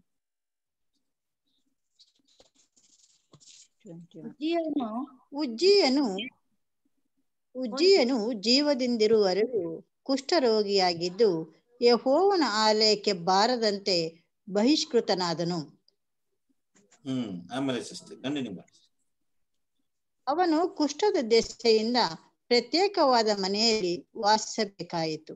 ರಾಜಗೃಹಾಧಿಪತ್ಯವನ್ನು ಪ್ರಜಾಪಾಲನೆಯನ್ನು ಅವನ ಮಗನಾದ ಸಾಕು ಸಿಸ್ಟರ್. ಅಲ್ಲಿ ನೋಡ್ತೀವಿ ನೋಡಿ ಯೂಜ್ ಏನಾಯ್ತು ಅಂದ್ರೆ ಕುಷ್ಠದಿಂದ ಕುಷ್ಠ ಬಂದ ಕಾಲದಲ್ಲಿ ಕುಷ್ಠ ಬಂದ್ರೆ ಅವ್ರಿಗೆ ವಾಸಿ ಆಗೋದು ತುಂಬಾ ಅಪರೂಪ. ಯಾಕೆಂದ್ರೆ ಅದಕ್ಕೆ ಔಷಧಿನೇ ಇಲ್ಲ. ಇನ್ನೊಂದು ಬಂದು ದೇವರು ಕೆಲವ್ರನ್ನ ಅದು ಬಂದು ದೇವರಿಂದ ಬಂದಂತ ಒಂದು ಶಾಪ ಒಂದು ಏನ್ ಹೇಳ್ತೀವಿ ಶಿಕ್ಷೆ ಅಂತ ಅನ್ಬೋದು ನಾವು. ಬೇರೆ ಯಾರಿಗೂ ದೇವರು ಕುಷ್ಟ ಕೊಟ್ಟಿದ್ದಾರಾ ಬೇರೆ ಯಾರು ಬೇರೆ ಯಾರಿಗಾದ್ರು? ಗೆಹಜಿಗೆ ಬ್ರದರ್ ಗೆಹಜಿಗೆ ವೆರಿ ಗುಡ್ ಯೋಬ. Naaman Naaman. ನಾಮನ್ಗೆ ಕುಷ್ಟ ಇತ್ತು ಆದ್ರೆ ಶಿಕ್ಷೆ ಶಿಕ್ಷೆಯಾಗಿ ಕೊಟ್ಟಿದ್ದು. ಶಿಕ್ಷೆ ಗೆಹಜಿಗೆ ಮತ್ತೆ ಮತ್ತೆ? ಹತ್ರ ಬನ್ನಿ ಮೋಸೆ ಮೋಸೆ ಹತ್ರ ಬನ್ನಿ. ಹಾ ಮಿರಿಯಾಮ್ ಮಿರಿಯಾಮಳ್ಗೆ ಮಿರಿಯಾಮ್ ಮಿರಿಯಾಮ್ಗೆ ಆಯ್ತು. ಮಿರಿಯಾಮ್ಗೆ ಏನಕ್ಕೆ ಆಯ್ತು?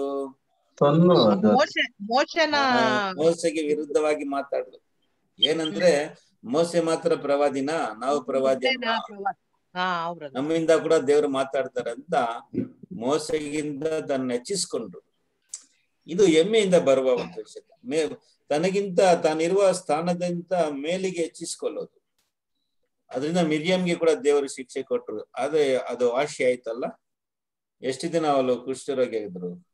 ಏಳು ದಿವಸ ಬ್ರದರ್ ಏಳು ದಿವಸ. ಸೆವೆನ್ ಡೇಸ್ ಅದು ಮೋಸೆ ಪ್ರಾರ್ಥನೆ ಮಾಡೋದ್ರಿಂದ ದೇವರು ಅವ್ರಿಗೆ ಕರ್ಣಿ ತರ್ಣಿ ತೋರಿಸಿದ್ರು. ಆದ್ರೆ ನಾವು ನೋಡ್ತೀವಿ ಅಲ್ಲಿ. ಆದ್ರೆ ಮಿರಿಯಂ ಮಾತ್ರ ಮಾತಾಡಿದ್ರೆ ಬೇರೆ ಯಾರೋ ಜೊತೆಲಿ ಮಾತಾಡಿದ್ರ? ಆರೋನ್ ಕೂಡ ಮಾತಾಡ್ತಾರಲ್ಲ ಬ್ರದರ್? ಆರೋನ್ ಕೂಡ ಮಾತಾಡಿದ್ರು ಆದ್ರೆ ಆರೋನ್ ಶಿಕ್ಷೆ ಆಯ್ತಾ? ಇಲ್ಲ. ಇಲ್ಲ. ಯಾಕೆ ಆಗಿಲ್ಲ? ಅವ್ರು ತಪ್ಪು ಒಪ್ಕೊಂಡ್ರಲ್ಲ. ಹಂಗಲ್ಲ ಅರನ್ ಬಂದು ಯಾಜಕನಾಗಿದ್ದರಿಂದ ದೇವರು ಅವನ ಅವನ ಮೇಲೆ ಇದ್ದಂತ ಅಭಿಷೇಕದಿಂದಲೂ ದೇವರ ಅವನ್ ಏನ್ ಮಾಡಿಲ್ಲ ಶಿಕ್ಷೆನ ಕೊಟ್ಟಿಲ್ಲ ಅವನ್ ಹಾಕಿರುವಂತ ಯಾಜಕ ಬಟ್ಟೆ. ಅದು ಅವನಿಂದ ಅದಕ್ಕೆ ಅವನಿಗೆ ಏನಾಯ್ತು ಅಲ್ಲಿಂದ ಅದರಿಂದ ದೇವ್ರ ಅವನಿಗೆ ಶಿಕ್ಷೆ ಕೊಟ್ಟಿಲ್ಲ ಅಂತ ನೋಡ್ತೀವಿ. ಸರಿ ಇದೇ ನಾವು ಇವತ್ತು ಧೂ ಧೂಪ ವೇದಿ ಧೂಪ ವೇದಿ ಬಗ್ಗೆ ನಾವು ನೋಡಿದಂತ ಪಾಠ. ಧೂಪ ವೇದಿ ಹೆಂಗೆ ಮಾಡ್ಬೇಕು ಮತ್ತು ಅದರ ಧೂಪ ದ್ರವ್ಯ, ಧೂಪ ದ್ರವ್ಯಗಳು ಮತ್ತೆ ಅದರಿಂದ ಅದನ್ನ ತಪ್ಪಾಗಿ ಹಾಕಿದಂಥವ್ರಿಗೆ ಸಿಕ್ಕಿದಂತ ಶಿಕ್ಷೆಗಳ ಬಗ್ಗೆ ಎಲ್ಲ ನಾವು ಈ ಪಾಠದಲ್ಲಿ ಇವಾಗ ನೋಡಿದ್ದೀವಿ. ಸರಿ, ನಾವು ಇದರ ಒಂದು ಆತ್ಮಿಕ ಅರ್ಥಗಳನ್ನ ನಾವು ಏನ್ ಮಾಡೋಣ ಇವಾಗ? ನೋಡಕ್ಕೆ ಮುಂದೆ ಹೋಗೋಣ. ಸೊ ನಮ್ಗೆಲ್ಲ ಗೊತ್ತಿರೋ ಪ್ರಕಾರ ದೇವದರ್ಶನ ಗೂಡರ ಒಂದು ದೇವರಿಗೆ ಆಲಯವಾಗಿತ್ತು. ದೇವರು ಈ ದೇವ್, ಈ ಆಲಯದಲ್ಲಿ ವಾಸ ಮಾಡ್ತಾ ಇದ್ರು ಅಂತ ನೋಡ್ತೀವಿ. ಅದೇ ತರ ನಮ್ಗೆ ಗೊತ್ತಿದೆ ಇದು ಒಂದು ಛಾಯೆ ಆಗಿದೆ ದೇವದರ್ಶನ ಗೂಡರ ಏನಾಗಿದೆ? ಇವಾಗ ನಮ್ಗೆ ಒಂದು ಛಾಯೆ ಆಗಿದೆ ಆದ್ದರಿಂದ ಏನಕ್ಕೆ ಛಾಯೆ ಅಂದ್ರೆ ನಾವು ನೋಡಿದ್ದೀವಿ, ಈಗ ಹೊಸ ಒಡನ್ಪಡಿಕೆಯಲ್ಲಿ ಇರುವಂತ ನಾವು, ನಮಗೆ ಆಲಯ, ದೇವರ ಆಲಯ ಯಾರಂತ ನಮ್ಗೆ ಗೊತ್ತು. ಯಾರು ದೇವರಾಲಯ? ನಾವೇ. ದೇವರ ಆಲಯ ಅಂತ ಹಲವಾರು ವಚನಗಳಲ್ಲಿ ನಾವು ಓದ್ತೀವಿ. ಒಂದನೇ ಕೊರಂತೆ ಮೂರು ಹದಿನಾರು ಹದಿನೇಳನೇ ವಚನ ನೀವೇ ದೇವರ ಆಲಯ ಮತ್ತೆ ಎಬ್ರಯ sorry Ephesians second chapter verse twenty two twenty two ಅಲ್ಲಿ ದೇವರ ಆಲಯ ಬಗ್ಗೆ ಅಲ್ಲಿ ಕೂಡ ನಾವು ನೋಡ್ತೀವಿ. ಮತ್ತು ಪೇತ್ರದಲ್ಲಿ ಕೂಡ ನಾವು ನೋಡ್ತೀವಿ.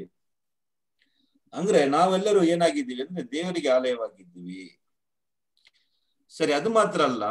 ಅದರಲ್ಲಿರುವಂತ ಒಂದೊಂದು ವಸ್ತುಗಳು ಕೂಡ ಏನಕ್ಕೆ ಹೋಲಿಕೆಯಾಗಿದೆ ಅಂದ್ರೆ ಎಲ್ಲವೂ ಅದರಲ್ಲಿ ಇದಂತ ಒಂದೊಂದು ವಸ್ತು ಕೂಡ ಸಭೆಗೆ ಏನಾಗಿದೆ? ಯೇಸು ಸ್ವಾಮಿಗೂ ಮತ್ತು ಸಭೆಗೆ ಏನಾಗುತ್ತೆ? ಹೋಲಿಕೆ ಆಗಿದೆ ಸರಿ, ಈ ಧೂಪ ಧೂಪ ಏನನ್ನ ಸೂಚಿಸ್ತದೆ? ಫಸ್ಟ್ ಧೂಪ ಏನನ್ನ ಸೂಚಿಸ್ತದೆ ಅಂದ್ರೆ ನಾವು ಓದಿದೀವಿ ವಚನದಲ್ಲಿ ಒಂದು ವಚನ ಓದ್ಕೊಂಡು ಹೋಗೋಣ ಬನ್ನಿ. ಆ ಎಫೇಷಿಯದವರಿಗೆ ಐದನೇ ಅಧ್ಯದಲ್ಲಿ ಎರಡನೇ ವಚನವನ್ನ ನಾವು ಓದೋಣ. ಅಲ್ಲಿ ಧೂಪದ ಬಗ್ಗೆ ಅಲ್ಲಿ ಹೇಳ್ತಾರೆ. ಪೌಲರು ಬರೀತಾರೆ. ಏನಂದ್ರೆ ದೇವರಿಗೋಸ್ಕರ ನಾವು ಬಾಳುವಂತ ಒಂದು ಬಲಿಯ ಒಂದು ಜೀವಿತ ಸ್ಯಾಕ್ರಿಫಿಷಿಯಲ್ ಲೈಫ್ ಅದನ್ನೇ ಧೂಪಕ್ಕೆ ಹೋಲಿಕೆ ಮಾಡಲ್ಪಟ್ಟಿದೆ. ವಚನ ಓದಿ ಐದರಲ್ಲಿ ಎರಡು ಎಫಿಷಿಯದವರಿಗೆ ಐದರಲ್ಲಿ ಎರಡನೇ ವಚನ. ಕ್ರಿಸ್ತನು ನಿಮ್ಮನ್ನು ಪ್ರೀತಿಸಿ ನಮ್ಮೆಲ್ಲರಿಗೋಸ್ಕರ ತನ್ನನ್ನೇ ದೇವರಿಗೆ ಸುಗಂಧ ವಾಸನೆಯಾದ ಕಾಣಿಕೆಯಾಗಿಯೂ ಯಜ್ಞವಾಗಿಯೂ ಸಮರ್ಪಿಸಿಕೊಂಡ ಪ್ರಕಾರ ನೀವು ಪ್ರೀತಿಯಲ್ಲಿ ನಡೆದುಕೊಳ್ಳಿರಿ. ನೋಡಿದ್ರ? ಕ್ರಿಸ್ತನು ಕೂಡ ದೇವರಿಗೆ ಏನಾಗಿದ್ರು ಅಂದ್ರೆ ದೇವರಿಗೆ ಸುಗಂಧ ಧೂಪವಾಗಿ ತನ್ನನ್ನ ಏನ್ ಮಾಡಿದ್ರು? ಅರ್ಪಿಸಿದ್ರು ಅಂತ ನಾವೇನ್ ಮಾಡ್ತೀವಿ ಇಲ್ಲಿ? ನಾವು ಓದ್ತೀವಿ. ಈ ಸ್ಯಾಕ್ರಿಫೈಸ್ ಹಿಮ್ಸೆಲ್ಫ್ ಅಂದ್ರೆ ಯೇಸು ಸ್ವಾಮಿ ದೇವರಿಗೆ ಸುಗಂಧ ವಾಸನೆಯಾದಂತ ಆ ಏನಾದ್ರು ಕಾಣಿಕೆಯಾಗಿ ಯಜ್ಞವಾಗಿ ತನ್ನನ್ನೇ ಅರ್ಪಿಸಿದ್ರು.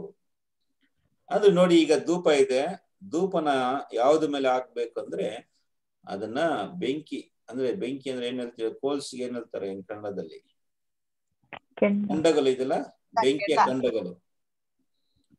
ಓಕೆನಾ ಆ ಬೆಂಕಿ ಕಂಡಗಳಿದೆ. ಆ ಕೋಲ್ಸ್ ಅಲ್ಲಿ ಏನ್ ಮಾಡ್ತಾರೆ? ಬೆಂಕಿಗೆ ಹಾಕ್ಬೇಕಾದ್ರೆ ಅದೇನಾಗುತ್ತೆ? ಅದರಿಂದ ವಾಸನೆ ಬ ವಾಸನೆ ಎಲ್ಲ ಹೊಗೆ ಬರುತ್ತೆ. ಸ್ಮೋಕ್ ಆ ಸ್ಮೋಕ್ ತುಂಬಾ ಒಂದು ಸ್ವೀಟ್ ಸ್ಮೆಲ್ ಕೊಡುತ್ತೆ.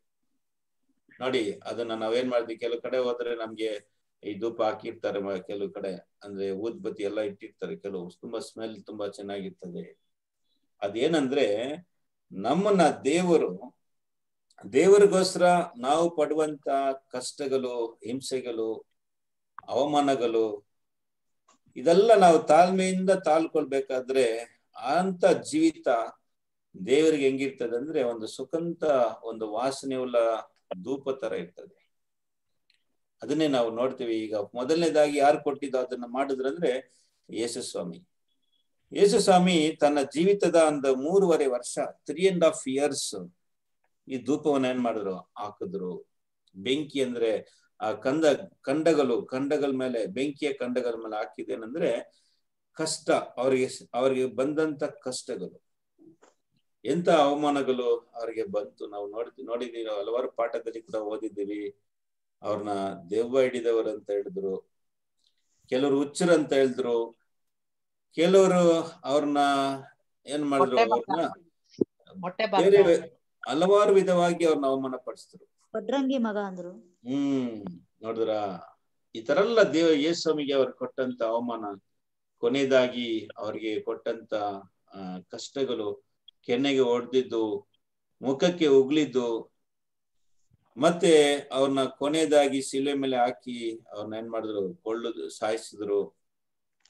ಇದೆಲ್ಲ ಅವ್ರಿಗೆ ಮಾಡಿದಂತ, ಇದೆಲ್ಲ ಏನಾಗಿತ್ತಂದ್ರೆ, ಇದೆಲ್ಲ ದೇವರಿಗೆ ಅವ್ರು ಹಾಕ, ಹಾಕಿದಂತ ಧೂಪ. ಅದು ದೇವರಿಗೆ ಹೆಂಗಿತ್ತಂದ್ರೆ ತುಂಬಾ ವಾಸನೆಯಾಗಿತ್ತು. ಸರಿ, ಇದು ಆದ್ಮೇಲೆ ಯಾರು ಇವಾಗ ಯಾರು ಅದನ್ನ ಹಾಕ್ತಾ ಇದ್ದಾರೆ ಅಂದ್ರೆ ಅವರನ್ನ ಹಿಂಬಾಲಿಸುವಂತ ಅವರ ಒಂದು ಶೀಸರು ಅಂದ್ರೆ ಲಿಟಲ್ ಫ್ಲಾಕ್ ಅಂದ್ರೆ ಸಭೆ.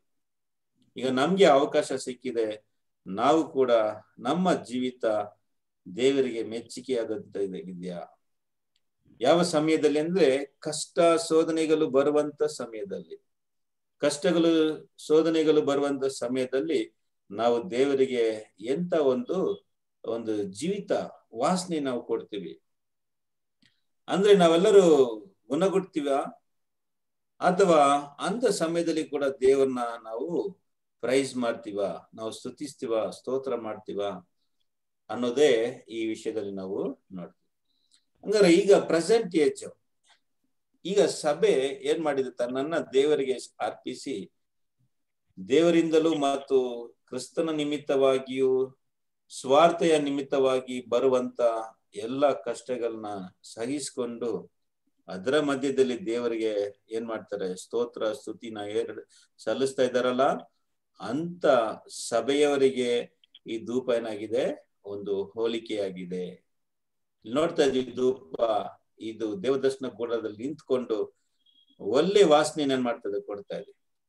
ಅದೇ ತರ ನಮ್ಮ ಜೀವಿತ ಹೆಂಗಿದೆ, ದೇವರ ಆಲಯದಲ್ಲಿ ನಾವು ಇದ್ದೀವಿ, ನಾವು ಕೂಡ we are also a member of the temple we are also member of the church ನಾವು ಸಭೆಯ ಒಂದು ಅಂಗವಾಗಿದ್ದೀವಿ. ಆದ್ರೆ ನಾವು ಹಾಕುವಂತ ಧೂಪ ಹೆಂಗಿದೆ? What is our daily sacrificial life ನಾವು ದಿನನಿತ್ಯ ಕ್ರಿಸ್ತನ ನಿಮಿತ್ತ ನಮ್ಮ ಸ್ಯಾಕ್ರಿಫೈಸ್ ಎಷ್ಟು ಮಟ್ಟಿಗೆ ಇದೆ? ನಾವು ಎಷ್ಟು ಸಮಯನ ದೇವರಿಗೆ ಕೊಡ್ತೀವಿ? ಮಸ್ಟು ಎಷ್ಟು ನಾವು ಕಾರ್ಯಗಳನ್ನ ನಾವು ಇದು ಮಾಡಿ ಅಹ್ ದೇವರಿಗೋಸ್ಕರ ಎಷ್ಟು ಕಾರ್ಯಗಳನ್ನ ನಾವು ಮಾಡ್ತಾ ಇದೀವಿ ಅನ್ನೋದು ನಾವು ಹಾಕುವಂತ ಧೂಪ. ನೋಡಿ, ಈ ಧೂಪನ ಆರನ್ ಏನ್ ಮಾಡ್ತಾರೆ ಅಂದ್ರೆ ತನ್ನ ಕೈಯಲ್ಲಿ, ತನ್ನ ಕೈ ತುಂಬಾ ಅದನ್ನ ಹಾಕ್ತಾರೆ. ಒಂದು ವಾಕ್ಯನ ಓದ್ಕೊಂಡು ಬರೋಣ ಬನ್ನಿ. ಆ ಯಾಜಕ ಕಂಡ ಹದಿನಾರನೇದಲ್ಲಿ ಅದನ್ನ ಎಷ್ಟು ಆಗ್ಬೇಕು? ಅದು ಎಷ್ಟು ಆಗ್ಬೇಕು ಧೂಪ ಅಂದ್ರೆ ಅಲ್ಲಿ ಒಂದು ವಾಕ್ಯ ಹೇಳಲ್ಪಟ್ಟಿದೆ. ಯಾಜಕ ಕಂಡ ಹದಿನಾರನೇದಕ್ಕೆ ಬನ್ನಿ. ಸಿಕ್ಸ್ಟೀನ್ತ್ ಚಾಪ್ಟರ್ ಅಲ್ಲಿ ಅದರಲ್ಲಿ ವಚನ ಓದಿ ಆ ಹನ್ನೆರಡನೇ ವಚನ ಓದಿ ಸಿಸ್ಟರ್ ಟ್ವೆಲ್ತ್ ವರ್ಸ್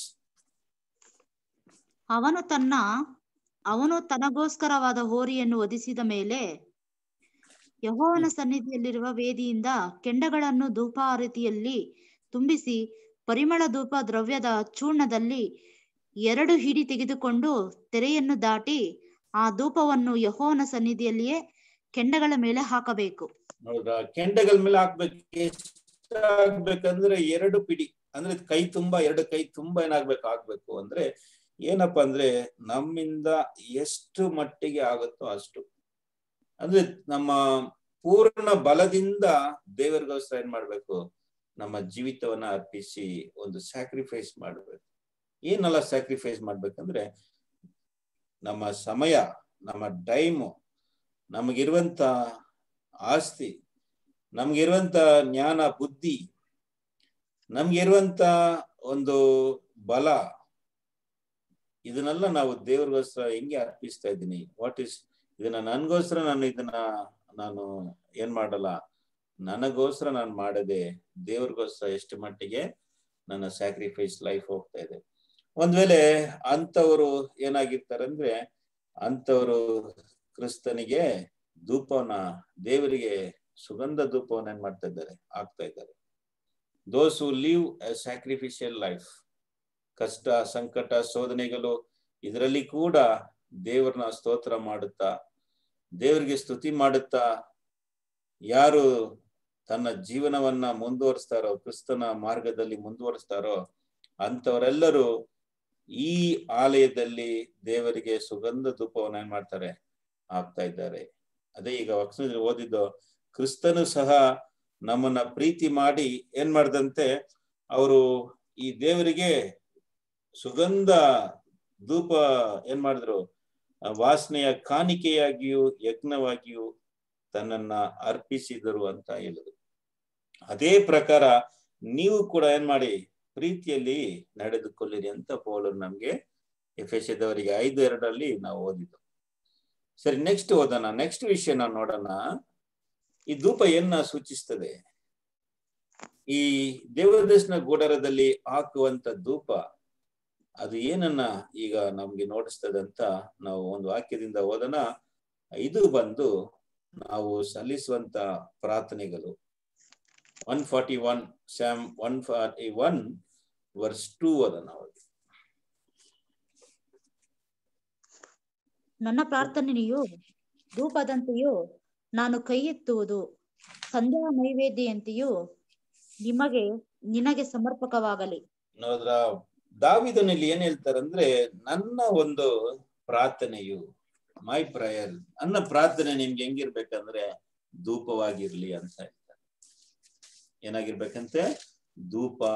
ಅಂದ್ರೆ ಧೂಪ ಏನನ್ನ ಸೂಚಿಸ್ತದೆ? ನಾವು ಹಾಕುವಂತ ಧೂಪ. ನೋಡಿ ಒಂದು ರಾಜ ಧೂಪ ಹಾಕಿದ್ರಲ್ಲ? ಯಾರವರು ಉಸಿಯ. ಆ ಉಸಿಯ ರಾಜ ಧೂಪ ಹಾಕದ ಆದ್ರೆ ಉಸ್ಯ ರಾಜ, ರಾಜರು ಏನಾಗ್ಬಾರ್ದು? ಧೂಪನ ಹಾಕ್ಬಾರ್ದು. ಆದ್ರೆ ರಾಜರು ಹಾಕಬೇಕಾದಂತ ಧೂಪ ಏನಂದ್ರೆ ಪ್ರಾರ್ಥನೆ. ಆ ಧೂಪ ಹಾಕೋದಕ್ಕಿಂತ ಪ್ರಾರ್ಥನೆ ಮಾಡಿದ್ರೆ ಅದು ಕೂಡ ದೇವರಲ್ಲಿ ದೇವರಿಗೆ ಹೆಂಗಿರ್ತದೆ ಅಂದ್ರೆ ಅದು ಧೂಪ ಹಾಕುವಾಗ ಹೆಂಗಿರ್ತದೋ ಅದೇ ತರ ಇರ್ತದೆ ಇಲ್ಲಿ ಕೀರ್ತನೆಗಾರ ಏನ್ ಹೇಳ್ತಾರೆ ಅಂದ್ರೆ ನನ್ನ ಪ್ರಾರ್ಥನೆಯು ಧೂಪದಂತೆಯು ಅಂತ ಹೇಳ್ತಾರೆ. ಇನ್ನೊಂದು ವಾಕ್ಯ ಕೂಡ ಅದನ್ನ ಪ್ರಕಟಣೆ ಐದನೇ ಅಧ್ಯಾಯದಲ್ಲಿ. ಎಂಟನೇ ವಚನವನ್ನು ನೋಡೋಣ Revelation fifth chapter verse eight ತೆಗೆದುಕೊಂಡಾಗ ಆ ನಾಲ್ಕು ಜೀವಿಗಳು ಇಪ್ಪತ್ತು ನಾಲ್ಕು ಮಂದಿ ಹಿರಿಯರು ಯಜ್ಞದ ಕುರಿಯಾದಾತನ ಪಾದಕ್ಕೆ ಬಿದ್ದರು. ಹಿರಿಯರ ಕೈಗಳಲ್ಲಿ ವೀಣೆಗಳು ದೇವಜನರ ಪ್ರಾರ್ಥನೆಗಳೆಂಬ ಧೂಪದಿಂದ ತುಂಬಿದ್ದ ಚಿನ್ನದ ಧೂಪಾರತಿಗಳು ಇದ್ದವು. ನೋಡಿದ್ರ? ಹಂಗಾದ್ರೆ ಇಲ್ಲಿ ಕೂಡ ನಾವು ಓದ್ತೀವಿ ಧೂಪದ ಧೂಪ ಏನ ಸೂಚಿಸ್ತದೆ ಅಂದ್ರೆ ಪ್ರಾರ್ಥನೆಗಳು ಪ್ರೇಯರ್ಸ್ ಅವರ್ ಪ್ರೇಯರ್ಸ್ ನಮ್ಮ ಪ್ರಾರ್ಥನೆ ಹೆಂಗಿದಂತೆ ಧೂಪವಾಗಿದೆ ಅಂತೆ ನೋಡಿ. ಅದರಿಂದ ಪ್ರಾರ್ಥನೆ ಎಷ್ಟು ಮುಖ್ಯವಾದ ಮುಖ್ಯವಾದದ್ದಂತ ನಾವು ನೋಡ್ತೀವಿ. ಪ್ರೇಯರ್ ಮಾಡ್ತೀರಾ ದಿನ ಎಲ್ಲರೂ? ಡೈಲಿ ಪ್ರೇಯರ್ ಮಾಡ್ತೀರಾ ಅಲ್ಲ ವಾರಕ್ಕೆ ಒಂದ್ಸರಿ ಅಲ್ಲ ತಿಂಗಳಿಗೆ ಒಂದ್ಸರಿ ಮಾಡ್ತೀರಾ? ಇಲ್ಲಾಂದ್ರೆ ಇಲ್ಲ ಕಷ್ಟ ಬಂದಾಗ ಮಾತ್ರ ಪ್ರಾರ್ಥನೆ ಮಾಡ್ತೀರಾ? ಅಂದ್ರೆ ನಾವು ದಿನನಿತ್ಯ ಏನ್ ಮಾಡ್ಬೇಕು? ಪ್ರಾರ್ಥನೆ ಮಾಡ್ಬೇಕು ಬೆಳಗ್ಗೆ ಮಧ್ಯಾಹ್ನ ಸಾಯಂಕಾಲ. ಬೈಬಲ್ ನಾವು ನೋಡ್ತೀವಲ್ಲ? ಬೈಬಲಲ್ಲಿ ನಾವು ನೋಡ್ತೀವಲ್ಲ? ಎಷ್ಟೋ ಜನರು ಪ್ರಾರ್ಥನೆ ಮಾಡಿ ಎಷ್ಟೋ ಸಾಧನೆಗಳನ್ನ ಮಾಡಿದ್ದಾರೆ. ಕೆಲವರಿಗೆ ಪ್ರಾರ್ಥನೆ ಮಾಡೋದು ವಿಷಯದಲ್ಲಿ ಏನಾಯ್ತು? ಶೋಧನೆ ಬಂದಿದೆ. ಯಾರಿಗೆ ಹೇಳಿ ನೋಡೋಣ? ಪ್ರಾರ್ಥನೆ ಮಾಡಬಾರ್ದು ಅಂತ ತಡೆ ಬಂದಿತ್ತು. ದಾನಿಯಲ್ಗೆ ಬ್ರದರ್ ಹಾ ದಾನಿಯಲ್ಗೆ ನೋಡಿ. ಹಂಗಾದ್ರೆ ದಾನಿಯಲ್ನ ಅವರು ಅವರ ಅವರ ಒಂದು ಕೆಲಸ ಅವರ ಜೊತೆಗೆ ಕೆಲಸ ಮಾಡಿದವರು ದಾನಿಯಲ್ನ ಯಾವ ವಿಷಯದಲ್ಲಿ ಅವ್ರನ್ನ ಏನ್ ಮಾಡಕ್ಕಾಗಿಲ್ಲ ಅವ್ರನ್ನ ಕಂಡು ತಪ್ಪು ಕಂಡಿಡಿಯಕ್ಕಾಗಿಲ್ಲ ಆದ್ರೆ ಒಂದೇ ವಿಷಯದಲ್ಲಿ ಅವ್ರನ್ನ ಸಿಕ್ಕಾಕ್ಸ್ಬೋದು ಅಂತ ಅವ್ರು ಪ್ಲಾನ್ ಮಾಡಿದ್ರು ಅದು ಪ್ರೇಯರು.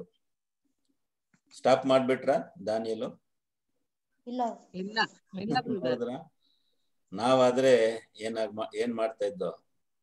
ಒಂದ್ ವೇಳೆ ರಾಜ ನಮ್ಗೆ ಒಂದ್ ಆಜ್ಞೆ ಕೊಟ್ಬಿಟ್ರಿ, ಇನ್ಮೇಲೆ ನೀವು ಮೀಟಿಂಗ್ ಅಟೆಂಡ್ ಮಾಡಬಾರ್ದು ಝೂಮ್ ಮೀಟಿಂಗ್ ಆಗ್ಲಿ ಪ್ರೇಯರ್ ಮಾಡಬಾರ್ದು ಅಂತ ರಾಜ ಒಂದು ತಿಂಗಳು ಯಾರು ಮಾಡಬಾರ್ದು ಅಂತ ಹೇಳಿದ್ರೆ ನಾವೆಲ್ಲ ತುಂಬಾ ಸಂತೋಷವಾಗಿ ಹೌದು ತುಂಬಾ ಒಳ್ಳೆ ಆರ್ಡರ್ ಹಾಕಿದ್ದಾರೆ ರಾಜ. ಏನ್ ಮಾಡೋಣ? ಇದ್ ಬಿಡ, ಹಂಗೆ ಇದ್ ಬಿಡೋಣ ಅಂತ.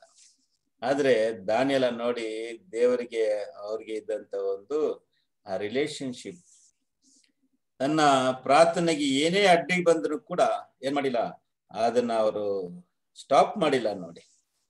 ಪ್ರಾಣ ಹೋದ್ರು ಕೂಡ ಪರವಾಗಿಲ್ಲ. ನಾನು ನನ್ನ ದೇವರ ಹತ್ರ ಮಾತಾಡೋದನ್ನ ಮಾತ್ರ ಏನ್ ಮಾಡಲ್ಲ ನಿಲ್ಲಿಸಲ್ಲ ಅಂತ ಎಂತ ಒಂದು ಹಠ ನೋಡಿ ಅವ್ರು. ನೋಡಿದ್ರ? ದೇವರು ಎಂತ ಅದ್ಭುತ ಮಾಡಿದ್ರು ನೋಡಿ ಅಲ್ಲಿ. ನೋಡಿ, ಆ ತರ ನಮ್ಮ prayerful life what is our prayer daily prayer ಮಾಡ್ತೀವ? ಅದೇ ಏನ್ ಸಮಯ ಏನ್ ಹೇಳಿದ್ರು? ಎಡೆ ಬಿಡದೆ ಏನ್ ಮಾಡಿ? ಪ್ರಾರ್ಥನೆ ಮಾಡಿ. ಎಡೆ ಬಿಡದೆ ಪ್ರಾರ್ಥನೆ ಮಾಡಿ ಅಂದ್ರೆ continuous prayer daily prayer life ಇರಬೇಕು. ಎಸ್ ಸ್ವಾಮಿ ಪ್ರಾರ್ಥನೆ ಮಾಡಿದ್ರ? ಪ್ರಾರ್ಥನೆ ಮಾಡಿದ್ರ? ಬೈಬಲ್ ಓದ್ತೀವಲ್ಲ? ಎಸ್ ಸ್ವಾಮಿ ಹಲವಾರು ಸಾರಿ ಏನ್ ಮಾಡಿದ್ದಾರೆ? ಪ್ರಾರ್ಥನೆ ಮಾಡಿದ್ದಾರೆ. ಕೆಲವು ಸಾರಿ ಬೆಳಗ್ಗೆ ಮುಂಚಾನೆಯಲ್ಲೇ ಏನ್ ಮಾಡಿದ್ದಾರೆ? ಪ್ರಾರ್ಥನೆ ಮಾಡಿದ್ದಾರೆ. ಕೆಲವು ಸಾರಿ ಹೋಲ್ ನೈಟ್ ರಾತ್ರಿ ಎಲ್ಲ ಪ್ರಾರ್ಥನೆ ಮಾಡಿದ್ದಾರೆ. ಕೆಲವು ಸಾರಿ. ಕೊನೆಯಲ್ಲಿ ನಾವು ನೋಡ್ತೀವಲ್ಲ ಗೆಚ್ಚಮನಲ್ಲಿ ಕೂಡ ನಾವು ನೋಡ್ಬೇಕಾದ್ರೆ ಏಸ್ವಾಮಿ ಹತ್ತು ಶಬ್ದದಿಂದ ಪ್ರಾರ್ಥನೆ ಮಾಡಿದಂತ ನಾವು ನೋಡ್ತೀವಿ. ಅಂದ್ರೆ ಪ್ರಯರ್ ಬಂದು ಕ್ರೈಸ್ತನ ಒಂದು ಜೀವಿತದಲ್ಲಿ ಎಷ್ಟು ಇಂಪಾರ್ಟೆಂಟ್ ಆಗಿದೆ ಅಂದ್ರೆ, ನೋಡಿ ಅದು ದೇವರಿಗೆ ಧೂಪವಾಗಿದೆ, ಧೂಪದಾಗಿದೆ. ಆದ್ರೆ ದೇವರು ಅದನ್ನ ಇಷ್ಟಪಡ್ತಾರೆ ನೋಡಿ. ನಾವು ಪ್ರಾರ್ಥನೆ ಮಾಡೋದನ್ನ ದೇವ್ರು ಏನ್ ಮಾಡ್ತಾರೆ? ಇಷ್ಟಪಡ್ತಾರೆ. ದೇವರಿಗೆ ಅದು ಹೆಂಗಿರ್ತದೆ ಅಂದ್ರೆ, ನಾವು ಧೂಪ ಹಾಕಿದ್ರೆ ಹೆಂಗೆ ವಾಸನೆ ಬರುತ್ತೋ, ಆ ತರ ನಾವು ಮಾಡುವಂತ ಪ್ರಾರ್ಥನೆಗಳು ದೇವರಿಗೆ ಹೆಂಗಿರ್ತದೆ? ಧೂಪದಂತೆ ಇರ್ತದೆ ನೋಡಿ. ಆದ್ರಿಂದ ನಾವು ಡೈಲಿ ಪ್ರೇಯರ್ ಲೈಫ್ನ ನಾವು ನೋಡ್ಬೇಕು. ಬೈಬಲ್ ನಾವು ನೋಡಿದೀವಿ ಯಾರೆಲ್ಲ ಪ್ರಾರ್ಥನೆ ಮಾಡಿ ಸಾಧನೆ ಮಾಡಿದ್ದಾರೆ, ಅನ್ನ ಬಗ್ಗೆ ನೋಡಿದೀವಿ ಅನ್ನ ಅಲ್ಲ ಒಂದು ಪ್ರಾರ್ಥನೆ. ಮತ್ತೆ ಪ್ರಾರ್ಥನೆ ಮಾಡಿ, ಆ, ಏನ್ ಮಾಡಿದ್ದಾರೆ? ಮಾಲೆಯನ್ನ ಕೂಡ ನಿಲ್ಲಿಸಿದ್ದಾರೆ. ಯಾರು ಹೇಳಿ? ಎಲಿಯನ್ ಬಗ್ಗೆ ನಾವು ನೋಡಿದೀವಿ ಎಲಿಯನ್ ಬಗ್ಗೆ ಯಾಕೊಬ್ಬ ಬರಿಬೇಕಾದ್ರೆ ಪ್ರಾರ್ಥನೆ ಒಂದು ಇಂಪಾರ್ಟೆನ್ಸ್ ಬಗ್ಗೆ ಅಲ್ಲಿ ತಿಳಿಸ್ತಾರೆ. ಪ್ರಾರ್ಥನೆ ಎಷ್ಟು ಬಲವುಳ್ಳದು ಅಂತ ಅಲ್ಲಿ ಹೇಳ್ಬೇಕಾದ್ರೆ, ಅಲ್ಲಿ ಹೇಳ್ತಾರೆ ನೋಡಿ ಯಾಕೊಬ್ಬ ಐದನೇ ಅಧ್ಯಾಯದಲ್ಲಿ ಅಲ್ಲಿ ನಾವು ನೀವು ಪ್ರಾರ್ಥನೆ ಮಾಡಿ ಅಂತ ನಮ್ಗೆ ಏನ್ ಮಾಡ್ತಾರೆ? ಅಲ್ಲಿ ತಿಳಿಸ್ತಾರೆ ನಮ್ಮ ಯಾಕೊಬ್ಬ ಅವರು. ವಾಕ್ಯ ಓದನ ಐದನೇ ಅಧ್ಯಾಯದಲ್ಲಿ ಹದಿನೇಳು ಹದಿನೆಂಟು ವಚನ ಓದಿ. ಎಲಿಯನು ನಮ್ಮಂತ ಸ್ವಭಾವವುಳ್ಳವನಾಗಿದ್ದು, ನಾಗಿದ್ದನು. ಅವನು ಮಳೆ ಬಾರ, ಬ, ಮಳೆ ಬರಬಾರದೆಂದು ಬಹಳವಾಗಿ ಪ್ರಾರ್ಥಿಸಲು ಮೂರು ವರ್ಷ ಮೂರು ವರ್ಷ ಆರು ತಿಂಗಳವರೆಗೂ ಮಳೆ ಬೀಳಲಿಲ್ಲ. ನೋಡಿದ್ರ? ಎಲಿಯನ್ ಬಗ್ಗೆ ಹೇಳ್ತಾರೆ, ಎಲಿಯ ಕೂಡ ತುಂಬಾ ಪ್ರಾರ್ಥನೆ ಮಾಡೋರು. ಅದೇ ತರ ಯೇಸು ಸ್ವಾಮಿ ಕೂಡ ಮಾಡ್ತಾ ಇದ್ರು, ಅಪೋಸ್ತಲರು. ಅದರಿಂದ ಪ್ರಾರ್ಥನೆ ನಮ್ಗೆ ಎಂತದಂದ್ರೆ ಒಂದು ಪಕ್ಷಿಗೆ ಹೆಂಗೆ ಎರಡು ರೆಕ್ಕೆಗಳಿದ್ಯೋ, ಒಂದು ಪಕ್ಷಿ ಆರ್ಬೇಕಂದ್ರೆ ಆ ಪಕ್ಷಿಗೆ ಏನು ಬೇಕು? ಎರಡು ಕಡೆನೆ ರೆಕ್ಕೆಗಳು ಬೇಕು ಅವಾಗ್ಲೇ ಆ ಪಕ್ಷಿ ಏನ್ ಮಾಡುತ್ತೆ? ಆಕಾಶದಲ್ಲಿ ಆರುತ್ತೆ. ಒಂದು ರೆಕ್ಕೆ ಹೋದ್ರೂ ಕೂಡ ಅದರಿಂದ ಆರಕ್ಕಾಗಲ್ಲ. ಏನದು ಅಂದ್ರೆ, ನಮ್ಗೂ ಕೂಡ ದೇವರ ಮಕ್ಕಳಾಗಿರುವಂತ ನಮ್ಗೆ ಕೂಡ ಎರಡು ರೆಕ್ಕೆಗಳು ಆರ್ಬೇಕಂದ್ರೆ, ಈ ಆಕಾಶದಲ್ಲಿ ನಾವು ಆರ್ಬೇಕಂದ್ರೆ ಏನಪ್ಪಾ ಅಂದ್ರೆ ಒಂದು ಪ್ರಾರ್ಥನೆ, ಇನ್ನೊಂದು ದೇವರ ವಾಕ್ಯವನ್ನ ನಾವು ಓದೋದು ಅಲ್ಲಿ ನಾವು ನೋಡ್ತೀವಲ್ಲ, ಈ ದೇವದರ್ಶನ ಗುಡಾರದಲ್ಲಿ ಏನಿತ್ತು ಅಲ್ಲಿ? ರೊಟ್ಟಿ ಇತ್ತು ಮತ್ತೆ ಧೂಪವೇದ್ಯ ಇತ್ತು. ಧೂಪವೇದಿ ಏನಂದ್ರೆ ಪ್ರೇಯರ್ ಪ್ರೇಯರ್ ಏನಪ್ಪಾ ಅಂದ್ರೆ ನಾವು ದೇವರ ಹತ್ರ ಮಾತಾಡೋದು. We are submitting our petitions ದೇವರಿಗೆ ನಾವು ನಮ್ಗೆ ಬೇಕಾಗಿರೋ ವಿಷಯಗಳನ್ನ ದೇವರಿಗೆ ತಿಳಿಸ್ತೀವಿ. ನೆಕ್ಸ್ಟ್ ದೇವರ ವಾಕ್ಯವನ್ನ ಓದೋದು ಬೈಬಲ್ನ ಸ್ಟಡಿ ಮಾಡೋದು ಬೈಬಲ್ ಓದೋದು. ಇದು ನಮ್ಗೆ ಏನನ್ನ ಸೂಚಿಸ ದೇವರು ನಮ್ಮ ಹತ್ರ ಮಾತಾಡೋದನ್ನ ಮಾತಾಡ್ತಾರೆ. ಕೆಲವರು ಬೈಬಲ್ ಓದ್ತಾರೆ, ಪ್ರಾರ್ಥನೆ ಮಾಡಲ್ಲ. ಕೆಲವರು ಪ್ರಾರ್ಥನೆ ಮಾಡ್ತಾರೆ, ಬೈಬಲ್ ಓದಲ್ಲ. ಬಟ್ ನಮ್ಗೆ ಎರಡು ಏನಾಗಿರ್ಬೇಕು? ಬ್ಯಾಲೆನ್ಸ್ಡ್ ಆಗಿರ್ಬೇಕು. ಆದ್ರಿಂದ ನಮ್ಮ ಪ್ರಾರ್ಥನೆ ಜೀವಿತ ಹೆಂಗಿದೆ ಅಂತ ನಾವೇನ್ ಮಾಡ್ಬೇಕು? ನೋಡ್ಬೇಕು. ದೇವರು ಕೆಲವರ ಪ್ರಾರ್ಥನೆಗಳಿಗೆ ತಕ್ಷಣ ಏನ್ ಮಾಡ್ತಾರೆ? ಉತ್ತರ ಕೊಡ್ತಾರೆ. ಬೈಬಲ್ ನಾವು ನೋಡ್ತೀವಿ. ಯೇಸು ಸ್ವಾಮಿ ಪ್ರಾರ್ಥನೆ ಮಾಡಿದ್ರೆ ಸಾಕು. ದೇವರಿಗೆ ತುಂಬಾ ಇಷ್ಟ. ಅದರಿಂದ ಯೇಸು ಸ್ವಾಮಿ ಪ್ರಾರ್ಥನೆ ಮಾಡಿದ ತಕ್ಷಣ ದೇವ್ರ ಏನ್ ಮಾಡ್ತಾರೆ? ಅವ್ರಿಗೆ ಉತ್ತರ ಕೊಡ್ತಾರೆ. ಅದನ್ನ ಯೋಹನ ಎಂಟು ಇಪ್ಪತ್ತೊಂಬತ್ತನೇ ವರ್ಷದಲ್ಲಿ ಓದೋಣ ನೋಡಿ ಒಂದು ವಾಕ್ಯ ಹೇಳ್ತಾರೆ. John fifth eighth chapter twenty ninth verse. ನಾನು ಆತನಿಗೆ ಮೆಚ್ಚುಗೆಯಾದದ್ದನ್ನು ಯಾವಾಗಲೂ ಮಾಡುವುದರಿಂದ ಆತನು ನನ್ನನ್ನು ಒಬ್ಬಂಟಿ ಒಂಟಿಗನಾಗಿ ಬಿಡಲಿಲ್ಲ ಅಂದನು.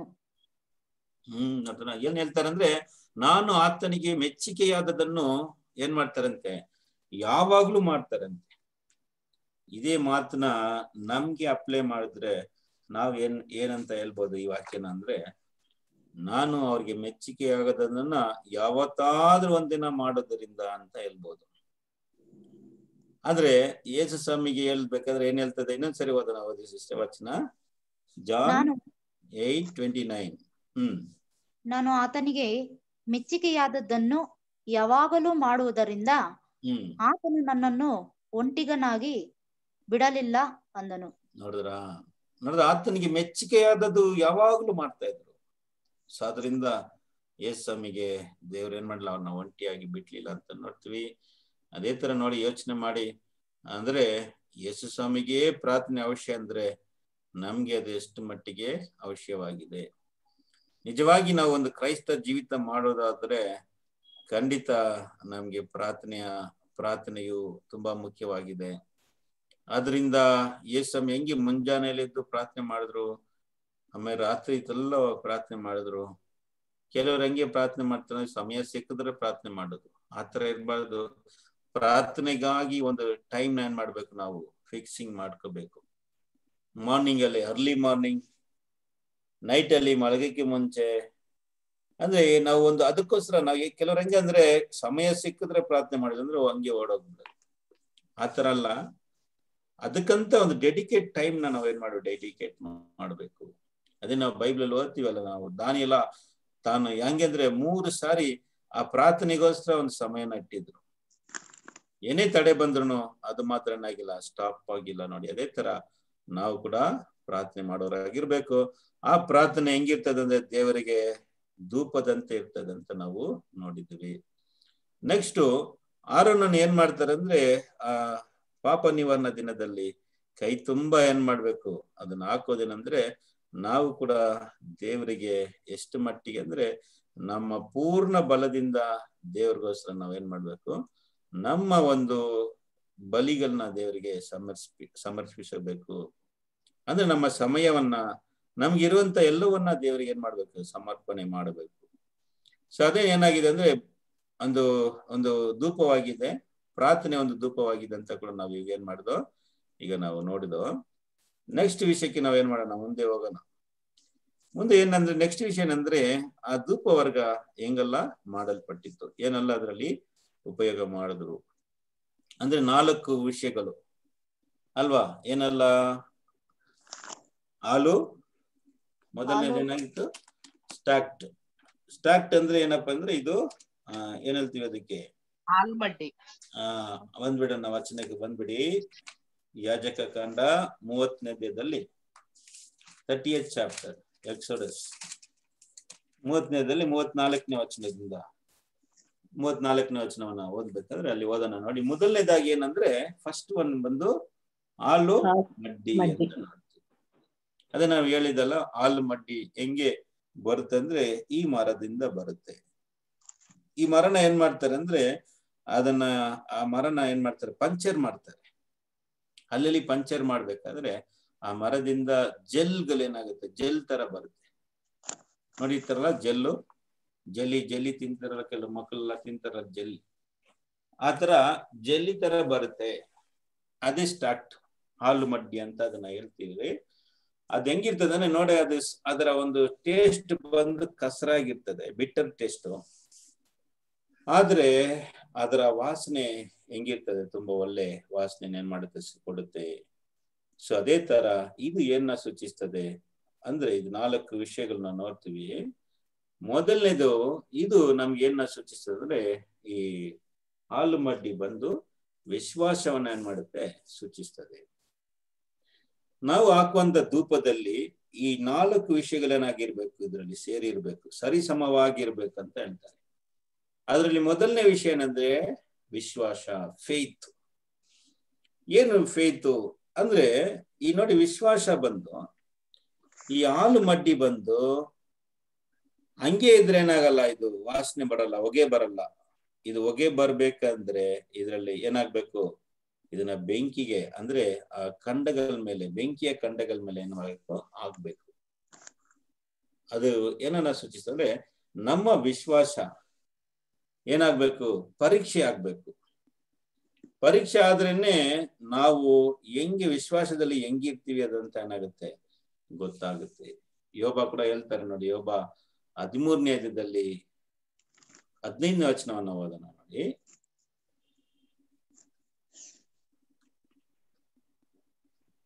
ಯೋಬ ಹದಿಮೂರು ಹದಿನೈದು. ಆಹಾ ಆತನು ನನ್ನನ್ನು ಕೊಲ್ಲುವನು ಅದಕ್ಕಾಗಿ ಕಾದಿರುತ್ತೇನೆ. ಆದರೂ ನನ್ನ ನಡತೆಯ ಒಳ್ಳೆತನವನ್ನು ಆತನ ಮುಂದೆ ಸ್ಥಾಪಿಸುವೆನು. ನೋಡೋಣ ಅಂದ್ರೆ ಇಂಗ್ಲಿಷ್ ಅಲ್ಲಿ ನೋಡೋದಾದ್ರೆ though he slay me yet I will trust in him ಅಂದ್ರೆ ದೇವರು ನನ್ನ ಕೊಂದು ಹಾಕಿದ್ರು ಕೂಡ ಆತನಲ್ಲಿ ಭರವಸೆ ಇಡುವೆನು ಅಂತ ಹೇಳ್ತಾ ಇದ್ದ ವಚನ. ಯೋಬನ ಒಂದು ನಂಬಿಕೆ ಅಂದ್ರೆ ದೇವ್ರು ನನ್ನ ಕೊಂದಾಕಿದ್ರು ಕೂಡ ನಾನು ಏನ್ ಮಾಡ್ತೀನಿ ಅವನ್ನ ನಂಬ್ತೀನಿ. ಅದೇ ಒಂದು ವಿಶ್ವಾಸ. ದೇವ್ರ ಮೇಲೆ ಎಷ್ಟು ಮಟ್ಟಿಗೆ ನಮ್ಗೆ ವಿಶ್ವಾಸ ಇದೆ. ಉದಾಹರಣೆಗೆ ಇನ್ನೊಂದು ಉದಾಹರಣೆ ಹೇಳೋದಾದ್ರೆ, ಈಗ ಅನನ್ಯ ಮಿಸಾವೆಲ್ಲ ಸರಿ ಇದಾರಲ್ಲ ದಾನಿಯಲ್ಲ, ಕಾಲದಲ್ಲಿ ದಾನಿಯಲ್ಲ ಒಂದು ಸ್ನೇಹಿತರು. ಅವ್ರನ್ನ ರಾಜನ್ ಏನ್ ಮಾಡ್ತಾನೆ, ಬೆಂಕಿಗೆ ಹಾಕ್ತೀನಿ ಅಂತ ಅಲ್ಲಿ ಅಪ್ನೆ ಆಗ್ತಾನೆ ಏನಕ್ಕೆ ಅಂದ್ರೆ, ಅವನಿಟ್ಟಿರುವಂತ ಸೆಲೆನ ಮುಗ್ದಿಲ್ಲ ಅಂದ್ರೆ ಅದಕ್ಕೆ ಅಡ್ಡ ಬಿದ್ದಿಲ್ಲ ಅಂದ್ರೆ ನಿಮ್ಮನ್ನೆಲ್ಲ ಬೆಂಕಿಗೆ ಹಾಕ್ತೀನಿ ಅಂತ ಅಲ್ಲಿ ಏನ್ ಮಾಡ್ತಾರೆ? ಅವರ ವಿಶ್ವಾಸಕ್ಕೆ ಒಂದು ಪರೀಕ್ಷೆ. ಎಂತದಂದ್ರೆ ಫೈರ್ಲಿ ಟೆಸ್ಟ್ ಇದನ್ನ. ಫೈರ್ಲಿ ಟ್ರಯಲ್ ಅಂತ ಹೇಳ್ಬೇಕು. ಫೈರ್ಲಿ ಟ್ರಯಲ್ ಅಂದ್ರೆ, ಆ, ಬೆಂಕಿಯ, ಬೆಂಕಿ ತರವಾಗಿರುವಂತ ಶೋಧನೆ. ಆ ಸಮಯದಲ್ಲಿ ಅವರು ಏನ್ ಹೇಳಿದ್ರು? ಅವರಿಂದ ಬಂದಂತ ಮಾತು ಎಂತ ಮಾತು? ಏನ್ ಮೂವರು ಹೇಳಿ ಏನ್ ಹೇಳಿದ್ರು? ಅರಸನಿಗೆ ಹೇಳಿದ್ರು, ಇದರ ಇದರ ಬಗ್ಗೆ ನಿಮ್ಗೆ ಉತ್ತರ ಕೊಡೋಕೆ ನಮ್ಗೆ ಅವಶ್ಯನೇ ಇಲ್ಲ. ನಾವು ಆರಾಧನೆ ಮಾಡುವಂತ ದೇವರು ನಮ್ಮನ್ನ ಏನ್ ಮಾಡ್ತಾರೆ? ಕಾಪಾಡ್ತಾರೆ. ಒಂದ್ ವೇಳೆ ಅವ್ರು ಕಾಪಾಡಿಲ್ಲ ಅಂದ್ರು ಕೂಡ ನೀನ್ ಇಟ್ಟಿರುವಂತ ಶೈಲೆನ ನಾನು ಏನ್ ಮಾಡಲ್ಲ ನಾವು ಅದಕ್ಕೆ ಅಡ್ಡ ಬೀಳಲ್ಲ ಅಂತ ಹೇಳ್ತಾರೆ.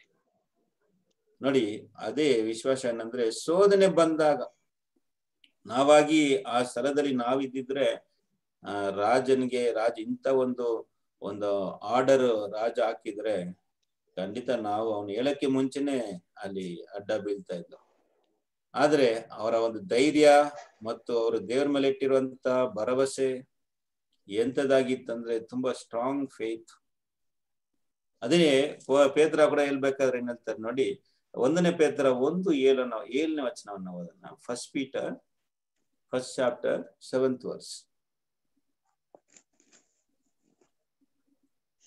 ಬಂಗಾರವು ನಾಶವಾಗುವಂತಿದ್ದಾಗಿ ಇದ್ದರೂ ಅದನ್ನು ಬೆಂಕಿಯಲ್ಲಿ ಪುಟ ಹಾಕಿ ಶೋಧಿಸುವ ದುಂಟಷ್ಟೇ. ನೋಡಿದ್ರಾ? ಹ್ಮ್ ಹಂಗೆ ಓದಿ ಸಿಸ್ಟರ್ ಕಂಟಿನ್ಯೂ ಮಾಡಿ ಬಂಗಾರಕ್ಕಿಂತ ಅಮೂಲ್ಯವಾಗಿರುವ ನಿಮ್ಮ ನಂಬಿಕೆಯು ಈ ಕಷ್ಟಗಳಿಂದ ಶೋಧಿತವಾಗಿ ಯೇಸು ಕ್ರಿಸ್ತನು ಪ್ರತ್ಯಕ್ಷನಾಗುವಾಗ ನಿಮಗೆ ಕೀರ್ತಿ ಪ್ರಭಾವ ಮಾನಗಳನ್ನು ಉಂಟು ಮಾಡುವುದು ಹೌದಾ? ಚಿನ್ನ ಕೂಡ ಏನಾಗುತ್ತೆ? ಬೆಂಕಿಯಿಂದ ಶೋಧಿಸಲ್ಪಡುತ್ತೆ. ಅದೇ ತರ ಅದಕ್ಕಿಂತ ತುಂಬಾ ಅಮೂಲ್ಯವಾದಂತ ನಿಮ್ಮ ನಂಬಿಕೆ ಕೂಡ ಏನಾಗುತ್ತೆ? ಶೋಧನೆಗೊಳಗಾಗುತ್ತೆ. ಅದೇ ನಮ್ಮ ಫೇತ್ ಎಂಥದ್ದು. ಬೈಬಲ್ ಅಲ್ಲಿ ಕೂಡ ನೋಡ್ತೀವಿ ಅಬ್ರಹಾಮನ್ನ ಫೇತ್ ಕೂಡ ಏನಾಗಿತ್ತು? ಶೋಧನೆಗೆ ಒಳಗಾಗಿತ್ತು. ಆದ್ರೆ ಅವರು ಅದರೆಲ್ಲ ನಿಂತ್ಕೊಂಡ್ರು. ಅದೇ ಈ ಒಂದು, ಈ ಹಾಲು ಮಡ್ಡಿ ಏನ ಸೂಚಿಸ್ತಂದ್ರೆ, ನಮ್ಮ ಒಂದು ವಿಶ್ವಾಸ, ದೇವರಲ್ಲಿ ಎಂತ, ಎಷ್ಟು ಮಟ್ಟಿಗೆ ನಮ್ಮ ವಿಶ್ವಾಸ ಇದೆ? ಸರಿ ನೆಕ್ಸ್ಟ್ ಎರಡನೇ ವಿಷಯ ಏನದು ಅಂತ ನೋಡ್ಬೇಕಾದ್ರೆ ಏನ್ ಹೇಳಲ್ಪಟ್ಟಿದೆ ಅಲ್ಲಿ ಕುಂಗು. ಗುಗ್ಗುಲ. ಗುಗುಲ ಅಂತ ಹೇಳಲ್ಪಟ್ಟಿದೆ. ಗುಗುಲ ಒನಿಕಾ. ಇದೇನಪ್ಪ ಅಂದ್ರೆ ಇದು ಶೆಲ್ ಫಿಶ್. ಅಂದ್ರೆ ಒಂದು ಏನಂತ ಹೇಳ್ತೀವಿ? ಇದು ಏನಪ್ಪ ಸೂಚಿಸ್ತದೆ ಇದು ಪ್ರೀತಿನ ಸೂಚಿಸ್ತದೆ. ಪ್ರೀತಿ ದೇವರಲ್ಲಿ ಮತ್ತು ದೇವರ ಮಕ್ಕಳಲ್ಲಿ ನಮ್ಮ ಪ್ರೀತಿ ಎಷ್ಟು ಮಟ್ಟಿಗಿದೆ ದೇವರ ಪ್ರೀತಿ ನಾವು ನೋಡ್ತೀವಿ. ಇದು ಪ್ರೀತಿನ ತೋರಿಸ್ತದೆ. ನಾವು ಕೂಡ ಪ್ರೀತಿ ವಿಷಯದಲ್ಲಿ ಹೆಂಗೆ ಬೆಳ್ತಿದ್ದೀವಿ ಪೋಲರ್ ಹೇಳ್ತಾರಲ್ಲ, ಪೋಲರ್ ಹದಿಮೂರನೇ ಅಧ್ಯದಲ್ಲಿ ಒಂದನೇ ಕೊರಂತಿ ಹದಿಮೂರನೇ ಅಧ್ಯದ ವಿಶೇಷಣ ಅಂದ್ರೆ ಪ್ರೀತಿ. ಪ್ರೀತಿ ಇಲ್ಲ ಅಂದ್ರೆ ನಾವು ಏನಿಲ್ಲ ಅಂತ ಏನ್ ಮಾಡ್ಬಿಟ್ರು ಹೇಳ್ಬಿಟ್ರು ಈ ಪ್ರೀತಿ ಎಂತ ಪ್ರೀತಿ ಅಂದ್ರೆ ಇದು ಬಂದು ದೈವಿಕವಾದಂತ ಪ್ರೀತಿ. ಅಂದ್ರೆ ಇದರ ಒಂದು ಗ್ರೇಕ ಪದ ಏನಂದ್ರೆ ಅಗಾಪೆ ಅಂತ ಹೇಳ್ತಾರೆ, ಅಗಾಪೆ. ಅಗಾಪೆ ಅಂದ್ರೆ ಏನಂತಂದ್ರೆ ಅನ್ಕಂಡೀಷನಲ್ ಲವ್ ಪ್ರೀತಿಯಲ್ಲಿ ಮೂರು ವಾಕ್ಯ, ಮೂರು ಪದಗಳನ್ನ ಉಪಯೋಗ ಮಾಡಿದ್ದಾರೆ ಪ್ರೀತಿಗೆ. ಮೊದಲನೇ ಪದ ಏನಂದ್ರೆ, ಆ, ಏನ್ ಹೇಳ್ತೀವಿ ಅಂದ್ರೆ ಹೆರೋಸ್ ಅಂತ ಹೇಳಲ್ಪಟ್ಟಿದೆ ಹೆರೋಸ್ ಅಂದ್ರೆ ನಾವು ಒಂದು ವಸ್ತುಗಳ ಮೇಲೆ ಇಡುವಂತ ಪ್ರೀತಿ. ಉದಾಹರಣೆಗೆ ನಮ್ಗೆ ಒಂದು ಕಾರ್, ಈ ಕಾರ್ ನನ್ಗೆ ಇಷ್ಟ ನನ್ಗೆ ಬಂದು ಆಡಿ ಕಾರ್ ಅಂದ್ರೆ ಇಷ್ಟ. ಅದರ ಮೇಲೆ ನಮ್ಗಿರುವಂತ ಪ್ರೀತಿ. ಕೆಲವರಿಗೆ ಚಿನ್ನದ ಮೇಲೆ ಪ್ರೀತಿ, ಕೆಲವರಿಗೆ ಬೇರೆ ಬೇರೆ ವಿಷಯಗಳ ಮೇಲೆ ಪ್ರೀತಿ ಇರ್ತದೆ, ಮನೆಗಳ ಮೇಲೆ ಪ್ರೀತಿ ಇರ್ತದೆ. This is called eros eros ಅಂತ ಒಂದು ವಾಕ್ಯ ಯೂಸ್ ಮಾಡಿದ್ದಾರೆ. ಎರಡನೇ ಪ್ರೀತಿಗೆ ಇನ್ನೊಂದು ಗ್ರೇಕ ಪದ ಏನಂದ್ರೆ ಫೀಲಿಯಾ ಅಂತ. ಫೀಲಿಯಾ. ಫೀಲಿಯಾ ಅಂದ್ರೆ ಏನಪ್ಪಾ ಅಂದ್ರೆ ನಮ್ಮ ಒಂದು ರಿಲೇಷನ್ಸ್ಗಳ ಮೇಲೆ ಇರುವಂತ ಪ್ರೀತಿ. ಫಾರ್ ಎಕ್ಸಾಂಪಲ್ ನನ್ನ ಅಪ್ಪ ಮೇಲೆ ಪ್ರೀತಿ, ನನಗೆ ಅಮ್ಮ ಮೇಲೆ ಪ್ರೀತಿ, ನನ್ನ ತಂಗಿ ಮೇಲೆ, ಅಕ್ಕ ಮೇಲೆ, ನನ್ನ ಗಂಡನ ಮೇಲೆ, ಹೆಂಡತಿ ಮೇಲೆ, ಇದೆಲ್ಲ ಬಂದು ರಿಲೇಟಿವ್ ಅವ್ರು ನಮ್ಗೆ ರಿಲೇಷನ್ ಆಗಿರೋದ್ರಿಂದ ಬರುವಂತ ಪ್ರೀತಿ. ಇದು ಕೂಡ ಶ್ರೇಷ್ಠವಾದದ್ದಲ್ಲ. ಮೂರನೇ ವಿಷಯನೇ ಮುಖ್ಯವಾದ, ಮೂರನೇ ವಿಷಯ ಅಂದ್ರೆ ಅಗೇಬ್ ಅಗೇಬ್ ಅಂದ್ರೆ ನಮ್ಮ ವೈರಿಗಳ ಮೇಲೆ ಬರುವಂತ ಪ್ರೀತಿ. ನಮ್ಮ ವೈರಿಗಳ ಮೇಲೆ ನಮ್ಗೆ ಪ್ರೀತಿ ಬರ್ತದ? ನಮ್ಗೆ ಹಿಂಸೆ ಮಾಡೋರ್ ಮೇಲೆ, ನಮ್ಗೆ ತುನ, ನಮ್ಗೆ ಕಷ್ಟ ಕೊಡೋರ್ ಮೇಲೆ ಪ್ರೀತಿ ಇದೆಯಾ ನಿಮ್ಗೆ? ನಮ್ಗೆ ಪ್ರೀತಿ ಬರ್ತಾ ಇದೆಯಾ? ಅಂದ್ರೆ ನಿಮ್ಮಲ್ಲಿ ದೇವರ ಪ್ರೀತಿ ಇದೆ. This is the divine love ಇದನ್ನೇ ನಾವು ಮುಟ್ಟಬೇಕಾದಂತ ಒಂದು ಗುರಿಯಾಗಿದೆ. This is the our goal ನಾವು ರೀಚ್ ಆಗ್ಬೇಕಾದಂತ ನಮ್ಮ ಒಂದು ಗೋಲ್ ಏನಂದ್ರೆ ಪ್ರೀತಿ. ಈ ಪ್ರೀತಿ ಏನಂದ್ರೆ ನಮ್ಮ ವೈರಿಗಳ ಮೇಲೆ ಕೂಡ ಪ್ರೀತಿ ಬರ್ತದೆ ನಮ್ಮ ಮನಸ್ಸು ಆತರ ಆಗಿದ್ಯಾ? ನಮ್ಮ ವೈರಿಗೆಲ್ಲ ಕಂಡ್ರೆ ನಮ್ಗೆ ಪ್ರೀತಿ ಉಕ್ಕಿ ಉಕ್ಕಿ ಬರುತ್ತಾ ಇದೆ ಅಂತ ನೋಡ್ಬೇಕು. ಒಂದ್ ವೇಳೆ ಬಂತ್ರೆ ನೀವು ಬಂದು ದೇವರ ಪ್ರೀತಿ ನಮ್ಮಲ್ಲಿ ಇದೆ ಅಂತ ಅರ್ಥ. ಇಲ್ಲ ಅಂದ್ರೆ ಏನು? ನಮ್ಮಲ್ಲಿ ಇನ್ನು ಪ್ರೀತಿ ಬೆಳೆದಿಲ್ಲ. ನಮ್ಗೆ ವೈರಿಗಳಿದ್ದಾರೆ. ವೈರಿಗಳನ್ನ ಕಂಡ್ರೆ ನನ್ಗೆ ಆಗ್ತಾ ಇಲ್ಲ ನಮ್ಮ ವೈರಿಗಳನ್ನ ನಮ್ಮ ಅಂದ್ರೆ ಇನ್ನು ದೇವರ ಪ್ರೀತಿ ನಮ್ಮಲ್ಲಿ ಬೆಳೆದಿಲ್ಲ. ಅಂದ್ರೆ ಧೂಪ ಹಾಕೋ ವಿಷಯದಲ್ಲಿ ಇದೂ ಸೇರಿದೆ. ಧೂಪ ಅಂದ್ರೆ ಏನಪ್ಪಾ ಅಂದ್ರೆ ನಮ್ಮ ದಿನನಿತ್ಯ ಜೀವಿತ. ಡೈಲಿ ನಮ್ಮ ವಿಶ್ವಾಸ ಹೆಂಗಿದೆ? ನೆಕ್ಸ್ಟ್ ನಾವು ನಮ್ಮ ಪ್ರೀತಿ ಹೆಂಗಿದೆ? ಇದು ನಾವು ದಿನನಿತ್ಯ ನಾವು ಏನ್ ಮಾಡ್ತೀವಿ? ನಾವು ಭೇಟಿಯಾಗುವಂತ ವಿಷಯಗಳಾಗಿದೆ ಇದನ್ನ ನಾವು ಮೂರನೇ ವಿಷಯವಾಗಿ ನೋಡ್ತೀವಿ. ನಾಲ್ಕನೇದು ಸಾರಿ ಥರ್ಡ್ ಒನ್ ಸೆಕೆಂಡ್ ಪ್ರೀತಿ. ಮೂರನೇದು ಏನಪ್ಪಾ ಅಂದ್ರೆ ಮೂರನೇದು ಅಲ್ಲಿ ಏನ್ ಏನ್ ಹೇಳಲ್ಪಟ್ಟಿದೆ ಅಲ್ಲಿ ಸಿಸ್ಟರ್ ಗಂಧದ ಚಕ್ಕೆ. ಗಂಧದ ಚಕ್ಕೆ ಅಂತ ನೋಡ್ತೀವಿ. ಇಂಗ್ಲಿಷ್ ಅಲ್ಲಿ ಗ್ಯಾಲ್ ಬ್ಯಾನಮ್. ಇದು ಕೂಡ ನಾವು ನೋಡ್ತೀವಲ್ವಾ? ಇದು ಕೂಡ ಒಂದು ಗಿಡದಿಂದ ಬರುವಂತ ಜೆಲ್ಲು. ಸೊ ಇದು ಏನನ್ನ ಸೂಚಿಸ್ತದೆ ಅಂತ ನೋಡ್ಬೇಕಾದ್ರೆ ಇದು ಒಬಿಡಿಯನ್ಸ್ ದೇವರಿಗೆ ನಮ್ಮ ವಿಧೇಯತೆ ಹೆಂಗಿರ್ತದೆ? ಡೈಲಿ ನಾವು ದೇವರ ವಿಷಯದಲ್ಲಿ ನಾವು ಹೆಂಗೆ ವಿಧೇಯತೆ ಆಗಿರ್ತೀವಿ? ದೇವರ ವಾಕ್ಯಕ್ಕೆ ನಾವು ಹೆಂಗೆ ವಿಧೇಯತೆ, ವಿಧೇಯರಾಗಿರ್ತೀವಿ? ಅದು ಮುಖ್ಯವಾದದ್ದು. ಇದೇ ತುಂಬಾ ಕಷ್ಟಕರವಾದ ಒಂದು ವಿಷಯ. ಇದನ್ನೇ ಆದಮಿಂದ ಆಗಿಲ್ಲ. ದೂತರಿಂದ ಆಗಿಲ್ಲ ಆದರೆ ಒಬ್ರು ಮಾತ್ರ ಎಲ್ಲ ವಿಷಯದಲ್ಲಿ ದೇವರಿಗೆ ವಿಧೇಯರಾಗಿದ್ದರು. ಓನ್ಲಿ ಕ್ರೈಸ್ಟ್ ಜೀಸಸ್ ಮಾತ್ರ ಒಂದು ವಿಷಯನ ಕೂಡ ಏನ್ ಮಾಡಿಲ್ಲ, ಮೀರಿಲ್ಲ. ಎಷ್ಟು ಮಟ್ಟಿಗೆ ಅಂದ್ರೆ ಪೋಲರ್ ಇದ್ರ ಬಗ್ಗೆ ತಿಳಿಸ್ತಾರೆ. ಅದನ್ನ ವಾಕ್ಯನ ಅದನ್ನ ಫಿಲಿಪಿಯರ ವಿಷಯದಲ್ಲಿ ಒಂದು ಫೈವ್ ಮಿನಿಟ್ಸ್ ಪಾಠ ಮುಗಿಸ್ಬಿಡ ನಾವು. ಆಯ್ತು. ಫಿಲಿಪಿಯದವರಿಗೆ ಎರಡನೇ ಅಧ್ಯಾಯದಲ್ಲಿ ನಾವು ಓದ್ತೀವಿ ಸೆಕೆಂಡ್ ಚಾಪ್ಟರ್ ನಮ್ಮ ಯೇಸು ಸ್ವಾಮಿಯ ಒಂದು ವಿಧೇಯತೆ, ದೇವರಿಗೆ ಅವರ ಒಂದು ವಿಧೇಯತೆ ಹೆಂಗಿತ್ತು ಅಂತ ಅಲ್ಲಿ ಪೌಲರು ತಿಳಿಸ್ತಾರೆ. ಅದನ್ನ ಓದನ ಆರರಿಂದ ಎರಡನೇ ಅಧ್ಯಾಯದಲ್ಲಿ ಆರರಿಂದ ಎಂಟನೇ ಎಂಟನೇ ವಚನದವರೆಗೆ ಓದನ ಆತನು ದೇವಸ್ವರೂಪನಾಗಿದ್ದರೂ ದೇವರಿಗೆ ಸರಿಸಮಾನನಾಗಿರುವುದೆಂಬ ಅಮೂಲ್ಯ ಪದವಿಯನ್ನು ಬಿಡಲೊಲ್ಲೆನು ಎಂದೆಣಿಸದೆ ತನ್ನನ್ನು ಬರಿದು ಮಾಡಿಕೊಂಡು ದಾಸನ ರೂಪವನ್ನು ಧರಿಸಿಕೊಂಡು ಮನುಷ್ಯರಿಗೆ ಸದೃಶನಾದನು. ಹೀಗೆ ಆತನು ಆಕಾರದಲ್ಲಿ ಮನುಷ್ಯನಾಗಿ ಕಾಣಿಸಿಕೊಂಡಿದ್ದಾಗ ತನ್ನನ್ನು ತಗ್ಗಿಸಿಕೊಂಡು ಮರಣವನ್ನು ಅಂದರೆ ಶಿಲುಬೆಯ ಮರಣವನ್ನಾದರೂ ಹೊಂದುವಷ್ಟು ವಿಧೇಯನಾದನು. ನೋಡಿದ್ರ ಎಷ್ಟು ಮಟ್ಟಿಗೆ ದೇವರಿಗೆ ವಿಧೇಯನಾದರು ಅಂದ್ರೆ?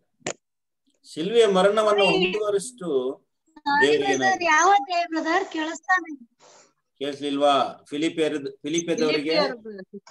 ಎರಡನೇ ಅಧ್ಯಾಯದಲ್ಲಿ ಆರರಿಂದ ಎಂಟು ವಚನ. ಅಂದ್ರೆ ನಮ್ಮ ಸ್ವಾಮಿ ಯೇಸು ಸ್ವಾಮಿ ಎಷ್ಟು ಮಟ್ಟಿಗೆ ತನ್ನನ್ನೇ ದೇವರಿಗೆ ವಿಧೇಯನಾಗಿ ವಿಧೇಯನಾಗಿದ್ರು ಅಂತ ನಾವು ಇಲ್ಲಿ ನೋಡ್ತೀವಿ. ಅಂದ್ರೆ ಶಿಲ್ವೆಯದ ಶಿಲ್ಬೆಯ ಮರಣದವರಿಗೆ ದೇವರಿಗೆ ಏನ್ ಮಾಡಿದ್ರು? ವಿಧೇಯತನ ತೋರಿಸಿದ್ರು ಅಂತ ನಾವು ಇಲ್ಲಿ ನೋಡ್ತೀವಿ. ಆತರ ನೋಡಿ ಯೇಸು ಸ್ವಾಮಿ ನೋಡಿ ಯಾವ ನಾವು ನೋಡಿದ ಬೈಬಲ್ ಅಲ್ಲಿ ಮೊದಲು ಲೂಸಿಫರು ದೇವರಿಗೆ ಅವಿದೆಯನ್ನ ತೋರಿಸ್ತಾ ಮತ್ತು ಆದಾಮನು ಮತ್ತು ದೂತರು, ದೇವದೂತರು, ಇವರೆಲ್ಲರೂ ಕೂಡ ದೇವರಿಗೆ ಅವಿದ್ಯತೆಯನ್ನ ತೋರಿಸ್ತರು ಆದ್ರೆ ಯೇಸು ಸ್ವಾಮಿ ಮಾತ್ರ ಎಲ್ಲ ವಿಷಯದಲ್ಲಿ ದೇವರಿಗೆ ವಿಧೇಯತನ ಏನ್ ಮಾಡಿದ್ರು? ತೋರಿಸ್ತರು ಅಂತ ನೋಡ್ತೀವಿ. So obedience is most important ಈಗ ನಾವು ಕೂಡ ಹೆಂಗೆ ದೇವರಿಗೆ ಒಬಿಡಿಯಂಟ್ ಆಗಿದ್ದೀವಿ ಅಂತ ವಿಷಯನ ನಾವು ನೋಡ್ಬೇಕು. ಯಾವ ಸಮಯದಲ್ಲಿ ಅಂದ್ರೆ ನಮ್ಗೆ ಶೋಧನೆ ಬರುವಂತ ಸಮಯದಲ್ಲಿ. ಆದ್ರೆ ಬೆಂಕಿಯ ಕಂಡದ ಮೇಲೆ ಇದನ್ನ ಹಾಕಬೇಕಾದ್ರೆ ನಮ್ಮ ಹೊಗೆಗಳು, ಅಲ್ಲಿ ಹೊಗೆ ಬರ್ಬೇಕು, ಅದು ಸ್ವಾ ವಾಸನೆ ಎಲ್ಲ ಹೊಗೆ ಹೊಗೆಯಾಗಿರ್ಬೇಕು. ಅದು ನಾವು ನೋಡ್ತೀವಿ. ನಾಲ್ಕನೇ ದಿನ ಅಂದ್ರೆ ಫೋರ್ತ್ ಒನ್ ಫ್ರಾಂಕ್ ಇನ್ಸೆನ್ಸ್ ದ್ರವ್ಯ ಸುಗಂಧ ವಾಸನೆಯ ದ್ರವ್ಯಗಳು. ಇದು ಏನನ್ನ ಸೂಚಿಸ್ತದೆ ಅಂದ್ರೆ ನಾವು ದೇವರಿಗೆ ಸಲ್ಲಿಸುವಂತ ಸ್ತುತಿಗಳು, ಸ್ತುತಿ ಸ್ತೋತ್ರಗಳು. ಯಾವ ಸಮಯದಲ್ಲಿ ಅಂದ್ರೆ ಕಷ್ಟದ ಸಮಯದಲ್ಲಿ, ಶೋಧನೆಯ ಸಮಯದಲ್ಲಿ. ಇದಕ್ಕೆ ಉದಾಹರಣೆಗೆ ನಾವು ನೋಡೋದಾದ್ರೆ ಯೋಬ. ಯೋಬನ ವಿಷಯದಲ್ಲಿ ನೋಡ್ತೀವಿ, ಯೋಬ ನೋಡಿ ಎಲ್ಲವನ್ನ ಕಲ್ಕೊಂಡ್ರು. ತನ್ನ ಆಸ್ತಿನ ಕಲ್ಕೊಂಡ್ರು, ತನ್ನ ಮಕ್ಕಳನ್ನ ಕಲ್ಕೊಂಡ್ರು. ಆದ್ರೂ ಕೂಡ ಅವ್ರಿಗೆ ಬಾಯಿಂದ ಬಂದಂತ ಮಾತು ಎಂತ ಮಾತಾಗಿತ್ತು. ದೇವರಿಗೆ ಸ್ತೋತ್ರ ಮಾಡಿದ್ರು. ಆ ಸಮಯದಲ್ಲಿ ನಮ್ಮಿಂದ ಸಾಧ್ಯನಾ ಇದು ಅನ್ನೋದು ನಮ್ಗೆ ತುಂಬಾ ಒಂದು ಆಶ್ಚರ್ಯವಾಗಿದೆ. ವಾಕ್ಯ ಓದನ ಬನ್ನಿ. ಯೋಬನಲ್ಲಿ ಯೋಬ ಹೇಳುವಂತ ಒಂದು ಮಾತು ಏನಂದ್ರೆ, ದೇವರು ಕೊಟ್ರು ದೇವ್ರೇನ್ ಮಾಡ್ರು? ತೆಗೆದುಕೊಂಡ್ರು. ದೇವರಿಗೇನಾಗ್ಲಿ ಸ್ತೋತ್ರ ಅಂತ ಒಂದು ಅಮೂಲ್ಯವಾದ ಒಂದು ಒಂದು ಮುಖ್ಯ, ಒಂದು ಒಳ್ಳೆ ವಾಕ್ಯವನ್ನ ಅಲ್ಲಿ ಹೇಳ್ತಾರೆ. ವಾಕ್ಯ ಓದೋಣ, ಬನ್ನಿ. ಯೋಬ ಒಂದರಲ್ಲಿ ಇಪ್ಪತ್ತೊಂದನೇ ವಚನವನ್ನ ಓದೋಣ. Twenty one. ಏನು ಇಲ್ಲದವನಾಗಿ ತಾಯಿಯ ಗರ್ಭದಿಂದ ಬಂದೆನು. ಏನು ಇಲ್ಲದವನಾಗಿಯೇ ಗತಿಸಿ ಹೋಗುವೆನು. ಯಹೋವನೇ ಕೊಟ್ಟನು, ಯಹೋವನೇ ತೆಗೆದುಕೊಂಡನು. ಯಹೋವನ ನಾಮಕ್ಕೆ ಸ್ತೋತ್ರವಾಗಲಿ. ಯಹೋವನ ನಾಮಕ್ಕೆ ಸ್ತೋತ್ರವಾಗಲಿ. ಯಹೋವನೇ ಕೊಟ್ಟನು, ಯಹೋವನೇ ತಕೊಂಡು ತೆಗೆದುಕೊಂಡನು. ಯಹೋವನ ನಾಮಕ್ಕೆ ಸ್ತೋತ್ರ. ಶೋಧನೆ ಸಮಯದಲ್ಲಿ ಹೇಳುವಂತ ಒಂದು ಸ್ತುತಿ. ಉದಾಹರಣೆಗೆ ನೋಡಿ, ಈಗ ನಾವು ಇದ್ದೀವಿ. ನಾವು ರೋಡಲ್ಲಿ ಹೋಗ್ತಾ ಇರ್ಬೇಕಾದ್ರೆ ಯಾರೋ ಒಂದು ಕಲ್ಲ ಬಂದು ನಮ್ಮ ಒಂದು ಮೊಬೈಲ್ ಫೋನ್ ಅಥವಾ ನಮ್ಮ ಚೈನ್ ಏನ್ ಮಾಡ್ಬಿಟ್ಟ, ನಮ್ಮ ಚೈನ್ನ ಕಿತ್ಕೊಂಡು ಹೋಗ್ಬಿಟ್ಟ. ಆಗ ನಾವು ಈ ಮಾತನ್ನ ದೇವರಿಗೆ ಸ್ತೋತ್ರವಾಗ್ಲಿ, ದೇವರು ಕೊಟ್ರು, ದೇವರು ತಗೊಂಡ್ರು, ದೇವರಿಗೆ ಸ್ತೋತ್ರ ಅಂತ ಆ ಸಮಯದಲ್ಲಿ ಈ ಮಾತನ್ನ ಹೇಳಕ್ಕಾಗತ್ತ ನಮ್ಮಿಂದ ಅಲ್ಲಿ? ಅಂದ್ರೆ ನಮ್ಗೆ ತುಂಬಾ ದುಃಖ ಆಗ್ಬಿಡುತ್ತೆ. ಅಯ್ಯೋ, ಕಷ್ಟ ಬಿದ್ದು ಸಂಪಾದನೆ ಮಾಡ್ದಲ್ಲ, ಹಂಗ್ ಮಾಡ್ದಲ್ಲ ಹೋಯ್ತಲ್ಲ ಅಂತ. ನಾವು ಏನ್ ಮಾಡ್ತೀವಿ? ಗುಣಗೊಡ್ತೀವಿ. ಆದ್ರೆ ಇಂಥ ಸಮಯದಲ್ಲಿ ಇಂಥ ಮಾತನ್ನ ಹೇಳೋದಕ್ಕೆ ಸಾಧ್ಯನಂದ್ರೆ ಇಟ್ಸ್ ಇಂಪಾಸಿಬಲ್ ಬಟ್ ಆದ್ರೆ ನಾವು ಒಂದ್ ವೇಳೆ ಆ ತರ ನಾವು ಹೇಳೋರಾಗಿದ್ರೆ ನಾವು ದೇವರಿಗೆ ಈ ಧೂಪವನ್ನ ಏನ್ ಮಾಡ್ತಾ ಇದ್ದೀವಿ? ಆಗ್ತಾ ಇದ್ದೀವಿ. ಏಕೆಂದ್ರೆ ಯೋಗ ಯೋಬ ಯಾಕೆ, ಯೋಬನ ಮಾಯಿಂದ ಯಾಕೆ ಈ ಮಾತು ಬಂತಂದ್ರೆ, ಯೋಬನ್ಗೆ ಚೆನ್ನಾಗಿ ಅರ್ಥ ಮಾಡಿದ್ರು. ಎಲ್ಲ ಯೋಬನ ಹತ್ರ ಇರುವಂತ ಎಲ್ಲ ವಸ್ತುಗಳು, ಅವರ ಆಸ್ತಿ, ಅವರ ಮಕ್ಕಳು, ಎಲ್ಲ ದೇವರಿಂದ ಅವ್ರು ಪಡ್ಕೊಂಡಿದ್ದು. ದೇವರು ಕೊಟ್ಟಿದ್ದು ಅಂತ ಅವರು ಅದನ್ನ ನಂಬಿದ್ರು. ನಾವೇನ್ ಮಾಡ್ತೀವಿ? ಇಲ್ಲ ಬದ ನಾನ್ ಕಷ್ಟ ಬಿದ್ದು ಸಂಪಾದನೆ ಮಾಡಿದ್ದೀನಿ. ನಾನೇ ಇದನ್ನ ಕಷ್ಟದಿಂದ ಸಂಪಾದನೆ ಮಾಡಿದ್ದೀನಿ ಅಂತ ಅನ್ಕೊಳ್ತೀವಿ. ಬಟ್ ಅದು ಸತ್ಯ ಅಲ್ಲ, ಅದು ನಿಜ ಅಲ್ಲ. ದೇವ್ರು ನಮ್ಗೆ ಕೊಟ್ಟಿದ್ದು. ಅದೇ ನಿಜ. ಮೊದಲನೇದಾಗಿ, ಒಂದು ವೇಳೆ ಅದನ್ನ ತೆಗೆಯೋದಾದ್ರೆ, ನಮ್ಮಿಂದ ಯಾರಾದ್ರೂ ಕಿತ್ಕೊಳ್ಳೋದಾದ್ರೆ, ಖಂಡಿತ ದೇವರ ಅಪ್ಪನೆ ಇಲ್ಲದೆ ನಮ್ಮಿಂದ ತೆಗಿಲಿಕ್ಕಾಗಲ್ಲ. ಅದನ್ನ ನಾವು ಅರ್ಥ ಮಾಡ್ಕೋಬೇಕು. ಅದು ಯೋಬು ಸರಿಯಾಗಿ ಅರ್ಥ ಮಾಡ್ಕೊಂಡಿದ್ರಿಂದಾನೇ ಯೋಬನ ವಿಷಯದಲ್ಲಿ ಈ ತರ ಆಗ್ಬೇಕಾದ್ರೆ ಯೋಬನು ದೇವರಿಗೆ ಸ್ತೋತ್ರನ ಮಾಡಕ್ಕೆ ಆಯ್ತು.